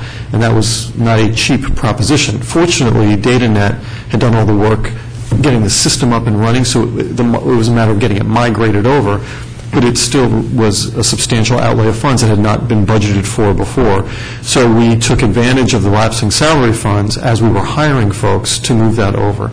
And so we managed with careful management by um, Mr. Hurley and and um, Mr. Awan, getting us balanced between the uh, NPS and and salary budget. And and with respect to the Open Government Offices budget, um, I think that there's a- an accounting shift taking place between FY13 and FY14. And if you could, please make clear for the record why it appears that the Open Government Office is losing 627000 between FY13 and FY14. Yeah, this is, this is more of a, um, just a technical glitch, if you will, from the budget before. When we were, when we were project, before we were in existence, when they built the 2012 budget, um, they put the bodies that were supposed to be with the Office of Government Ethics underneath the Office of Open Government. There was some confusion about the way in which we would be set up. So they put, I believe it was seven persons originally in the Office of Open Government that really belonged with the Office of Government Ethics, because there was nobody in the Office of Open Government, so didn't really, they didn't need to have seven people to start off with. So it's really just a matter of flip-flopping, if you will, the numbers around. So it looks like there's a loss, but really it's just on the other side of the house. Okay, and, and we, we, if we could discuss the growth in BEGA staff in FY13 and propose FY14 budgets. So, so I'll, As I'm you- sorry. I was going to say, as you mentioned, you, you recently hired Ms. Hughes, who's with us today, and she gave us an idea of what her vision was, uh, or is, for the Office of Open Government. Um, But I'd like to give an opportunity at this point to discuss uh, what, if any, budgetary constraints uh, she foresees as she sets up her office. Right. Or if you want to, if you want to speak to it, uh, Mr. Chairman, th- then feel free to do so. Sure, I I may have a little bit more insight only because she's brand new, but Right, but again, right, it's it's sure. it's going to be Ms. Hughes' office. Um, it- Really, the- the- I think the most immediate need is for some personnel support. Um, We, in a meeting that we had last week, we discussed at some length what the priority was going to be, and as Ms. Hughes mentioned, getting out in the community and getting to government agencies to hear both what the needs are, what the barriers are, is job one. But but we have now seen on the ethics side of the house that we we are getting daily calls for advice, for guidance, for interpretations of the law, Um, and Ms. Hughes will be no different. I mean, the Office of Open Government, we are already receiving, and and the board members are handling requests for interpretation about whether or not a meeting should be open or not, whether it can be closed or not, what needs to be posted, how it needs to be posted, who in OCTO do I need to contact to be posted. That's not Mr. Sobin's responsibility, and so currently it's, that falls on the board. It's about to become Ms. Hughes' responsibility. But in order to, to um, manage the day-to-day operations of the Office of Open Government, answer all of those questions, um, give advice and guidance to the, you know, hundreds of uh, subcomponents that the, that the Open Meetings Act applies to in the district, she will be able to do that and go out and meet with the public and agency directors and draft uh, recommended changes in the law, and na- navigate FOIA disputes amongst agencies all at the same time. So the priority is getting a staff attorney in there who can handle the day-to-day, answer the phone, give advice about agendas and meetings and what needs to be posted, what doesn't need to be posted, um, start to do the best practices research on the open government side, and a technology specialist who can then begin um, working on the global FOIA system that we would envision. Uh, The board has spoken about it some length in our public meetings, where all FOIA requests to the district are managed centrally, and that at some point, all of the responsive information, the documents are posted centrally, so that once you do it once, you don't have to do it again, and they're easily accessed. The federal government has a similar system in- in different places. Um, uh, But we need, and then also we can troubleshoot the technology issues with the individual, uh, the boards and the commissions. What we've learned, interestingly, is that many of the questions that we're getting are barrier questions. What I mean by that is, you know, there's a commission that sits under the auspices of some agency. They would love to be able to post their agenda, but they don't control the agency's website. And the person who controls the agency website doesn't really know what that particular border commission does, and doesn't know what goes up, where it goes, where you find it on their website, how it gets posted, and then the public gets frustrated because they don't have an easy way to find it. And if you don't happen to know that the Public Space Commission sits within the Department of Transportation, I'm I'm using that just sort of off the top of my head, if you don't know that off the top of your head, it's how do you find it? And for, as Ms. Hughes said, you have to meet people where they are, and a lot of folks, they're not as facile with the searching, you you've got to figure out a way to get this out there. We're supposed to be transparent, and a technology specialist can help break, break down some of those barriers. I think that we want to be reasonable, you know, I, I, in terms of our request, we're trying to project our needs, what's going to start in October of next year. Ms. Hughes will then, you know, she's got six months to kind of get the vision going and get the groundwork laid, so by the time that we would have funding, hopefully, for these people, she'd know the positions would be drafted, the vacancies would be ready to be posted on October 1, get somebody right in the door. And the one thing I will say is I think the board has demonstrated that when given the resources, we use them. We're we're not wasting any of our money. We don't have vacancies. The one vacancy we do have currently is only because it's a brand-new position, and it will be filled. We have a number of applicants already, and interviews are going to be starting. And and recently, the council passed emergency legislation delegating enforcement responsibility for the local Hatch Act to, to your office. And I know you mentioned in your testimony that you're going to hire a person that the mayor's budget includes an FTE for that purpose, but uh, is there anything else uh, in terms of uh, having this enhanced set of responsibilities that is going to impact the, the BEGA's budget that, that we should know about? I think Mr. Sobin can speak to that. Uh, The question was whether there are additional things besides the Hatch Act. I think I spoke a little bit Or about just, additional things that are going to be associated with the new responsibility of enforcing the Hatch Act? well, I met, I met last week with the Office of Special Counsel, um, the federal body which used to enforce our Hatch Act, and because I wanted to get an idea of what it was we could expect.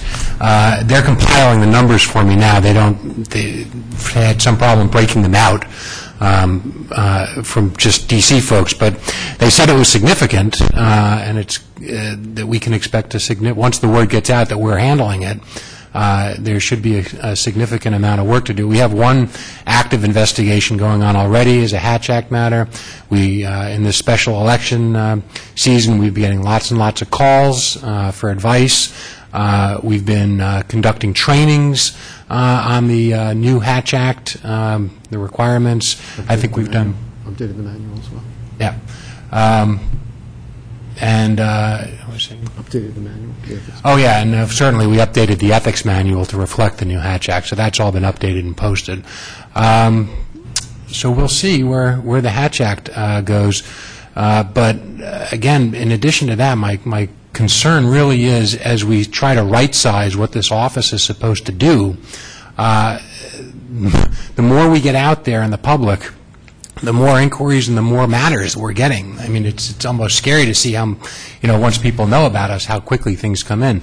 And the ethics counselors and the agencies, you know, again, while they've been a great help, uh, and it was a great idea to keep them in place, you know, by law, they're no longer able to do what they used to do, which was to provide safe harbor advice. So you get a lot of instances where people in the agencies, uh, you know, would rather not deal with the agency ethics counselor if what they tell them is not binding, so they'd rather just call us. With- With the that's- addition of the, the attorney who was going to handle uh, enforcement of the Hatch Act, how many FTEs would, would the office have in total? Uh, With the addition of that individual, uh, Office of Government Ethics then would have nine. Um, that- Yep, that's right, nine. And then one with, with uh, Ms. Hughes's addition, for the board total, it's going to be 10 FTEs? Well, then, w- if, at the moment, but if we got the additional two, obviously, then it would go up to 12. And and beyond the director of the Open Government Office, has BEGA um, hired anyone else since we held our performance oversight hearing in February? Um, I th- just, I think just the, the receptionist, right? Yeah, Who's also the- handling the financial disclosure. Yeah, we review. hired a- an additional administrative staff assistant just to do the um, financial disclosure filings, to sit at the front.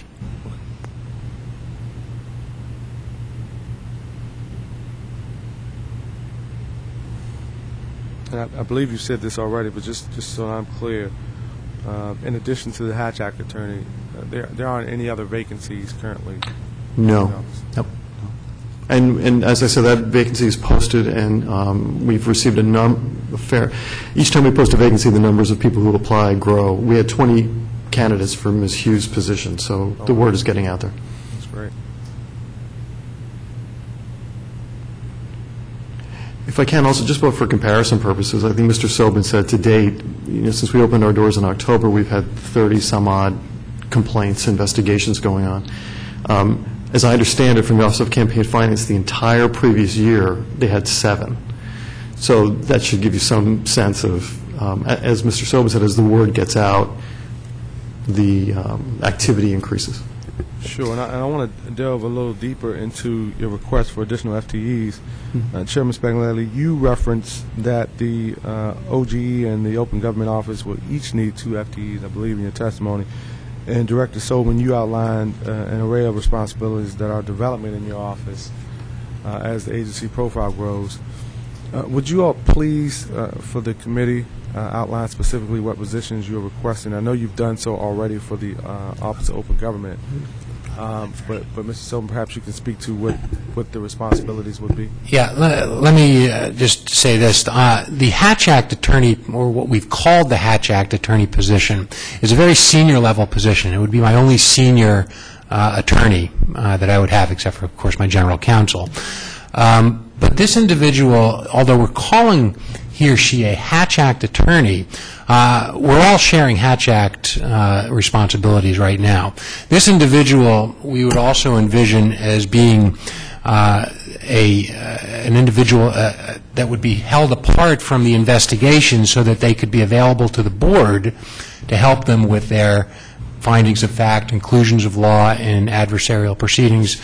Uh, As it stands right now, we have a bit of a conflict problem because, for instance, if we go to uh, an adversarial proceeding, uh, as the prosecutor, uh, I should not be in a position uh, of me or my other staff who were involved in the invest- investigation uh, drafting the findings of fact and conclusions of law. So we would be following the uh, ABRA model, where the director there uses one of his attorneys to assist the board and keep that attorney away from the investigations, but to do all the other stuff. So really, that's, that's what I'm envisioning for that position.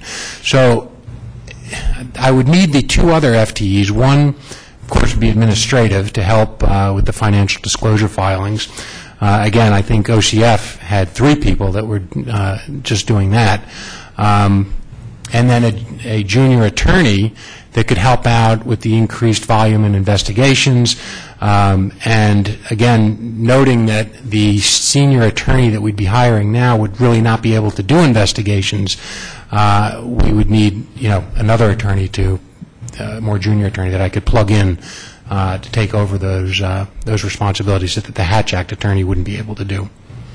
With the, uh, the FTE who would perform sort of the administrative functions related to the financial disclosures, in their testimony, um, the Office of Campaign Finance said they had three FTEs, but that uh, neither of them were uh, exclusively uh, dedicated to the financial disclosures. Do you envision your FTE to be exclusively devoted? to Yeah, let me just say one thing about that. I think there might have been con- some confusion about that, because I was in the back listening.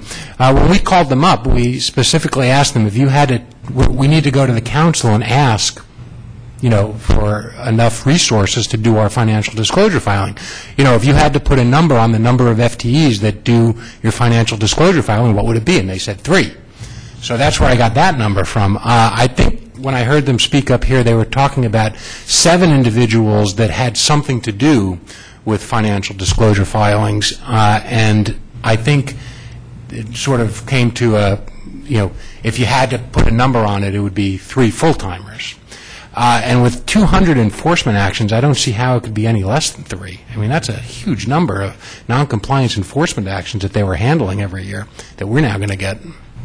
Yeah, yeah, I wanted to, uh, to try to draw out from them whether or not they were talking about three full-time FTEs. And what I got was, in addition to the financial disclosures, they said they had a number of, of FTEs who, in addition to doing the financial disclosure work, also did the work around the lobbyist uh, registration and reporting and some other area as well. So they were they were sort of sharing those responsibilities and overlapping as related to those three areas, uh, in addition to some other duties. And so I just Mhm. wasn't clear if, if well, actually, I was clear from them that they didn't have three full-time FTEs specifically doing the financial disclosures, but it really didn't give me a gauge for how how much work it would take for a person who might be dedicated to simply doing the financial disclosure. Right. I, I think it's three, uh, and I think that's what it's going to bear out as we go forward.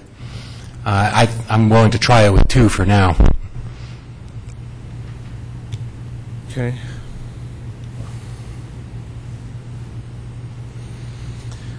And you all ramped up your hiring over the course of FY13, uh, meaning that some of the positions that were budgeted in FY13 were not filled at the beginning of the fiscal year.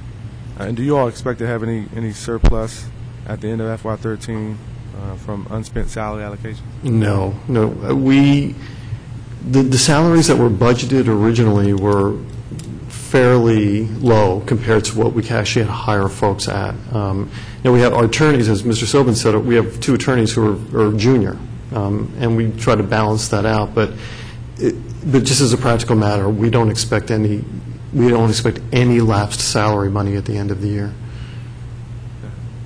And there, there are several relatively small increases in your budget as it relates to personal services. Uh, your proposed FY14 budget requests a $15,000 increase for Board of Government Ethics members' stipends. Uh, what's the current stipend given to board members?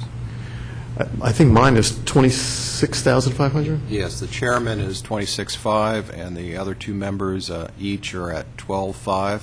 That's the current stipend. Uh, I believe there's a note in, as you say, in the um, language in the chapter that suggests that there'll be an increase, and um, I believe somewhere along the way, uh, that was picked up, and it's uh, incorrect information. Uh, Through the Office of Budget and Planning, we're going to uh, amend the chapter, change that language, Um, so that is incorrect. The increase is associated with their NPS budget, uh, not not salaries. Okay, so, so there's no proposed increase in the stipends? Your campaign. It's statutory. And there's no desire to increase the stipend? I. I won't say that. Okay. Want to be clear.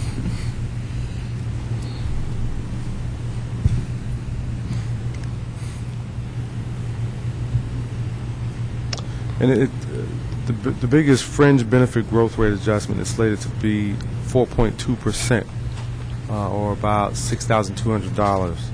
What's included uh, in the fringe benefits? Well, the fringe benefit growth rate, uh, again, is uh, uh, calculated by looking historically, uh, usually at what the fringe benefit rates have been for agencies, but then looking forward as to what inflationary pressures might impact that. The biggest one, of course, is the, the health care for employees. You also have an optical plan, a dental plan. You also have FICA that's in there, the federal money, as well as Medicare percentage, retirement. All of that is lumped together as fringe benefit, and the forecasted increase for next year is- about 4.2 percent. And I also noted that the, uh, the the rental land and structures budget is decreasing by $22,000 in in FY '14. And uh, and was would like for you to explain uh, why this funding is no longer necessary. Well, again, I think uh, originally, when the planning was done for this agency, uh, at the stage in which uh, the administration and the council committee were looking at the formulation of the new board, it wasn't really clear where it was going to be located, in which office setting. So I think um, there was some uh, quick analysis done that suggested if they had to rent space, that it would cost that amount. Uh, I guess subsequently, there was a decision made for the agency to locate it at 441, in other words, One Judiciary Square. So there's no direct uh, budget for FY14 for their space. It's all handled by the Department of General Services. And, you know, given that the, uh, the office is- is growing rather rapidly, uh, do you all feel that the facilities as they are currently are adequate? Um, DGS has been very good with us in terms of helping us deal with our space needs. Um, We had to renovate a little bit the space that they gave us, and they have identified an additional, hear- a a hearing room on the fifth floor that's already a hearing room with a big dais, which will allow us to convert our smaller hearing room into additional offices. And that will, with that, with those two spaces, that will meet our needs for the upcoming fiscal year.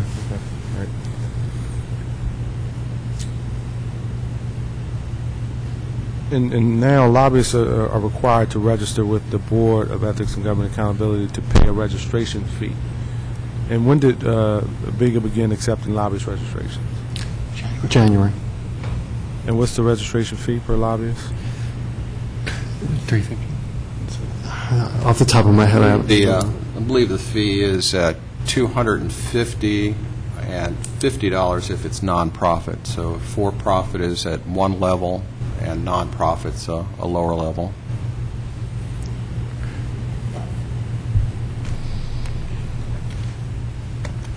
And can you tell me how much uh, you all have collected thus far? Uh, The office on an annual basis collects around 60,000, 50 to 60 in that range, and it's usually about this time of the year in which the revenue starts flowing in, so I I can't give you today's number, but we Sure. would expect, uh, you know, for this current fiscal year to collect in that 55, maybe $60,000 range. And, and what are the funds generated from the fee used for? It- I'm- I think, yeah, it's, we generally, I I think historically, they've been used by Office of Campaign Finance to um, support the uh, electronic filing system for both lobbyist registration as well as financial disclosures, and we anticipate doing the same.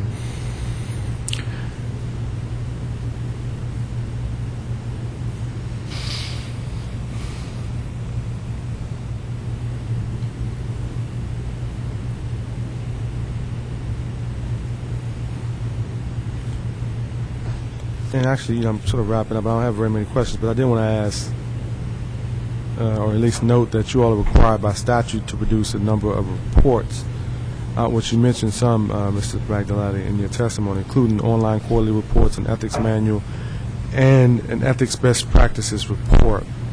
Uh, have, have you all contracted out any of the work related to producing these reports? No, although we have had pro bono assistance in drafting the best practices report, but we've not engaged, we do our own reporting. Um, And, you know, even our quarterly reporting on investigations and outcomes, that, we do that ourselves. We- It's all in-house. And, and going forward, uh, do you intend to contract any of the work out in the future? I don't anticipate so. All right, well, I don't have any any additional questions. Is there anything else that either of you would like to add to the record?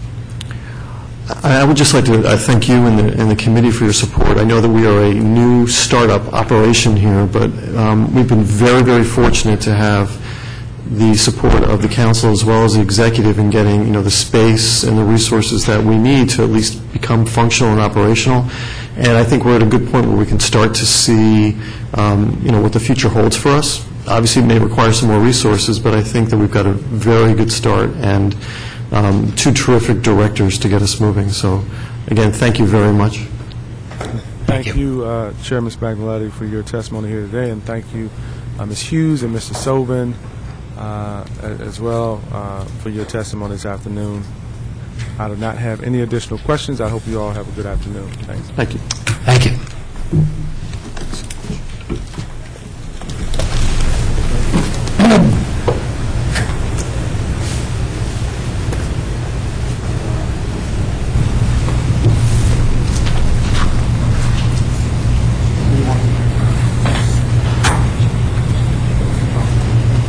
We just concluded uh, the budget oversight hearings for the Committee on Government Operations, and the time is now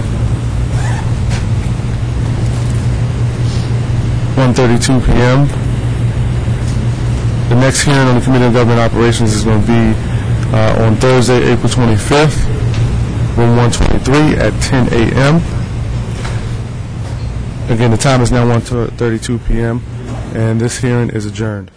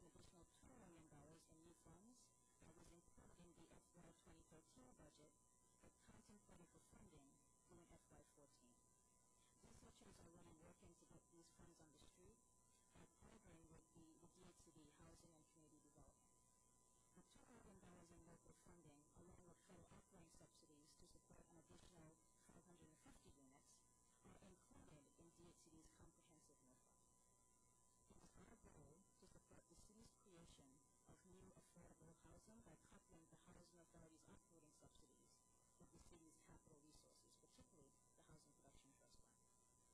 Madam Chair, this concludes my testimony. I know that you have several questions for me and my staff. I'd like to first thank you for your very clearly stated commitment to the preservation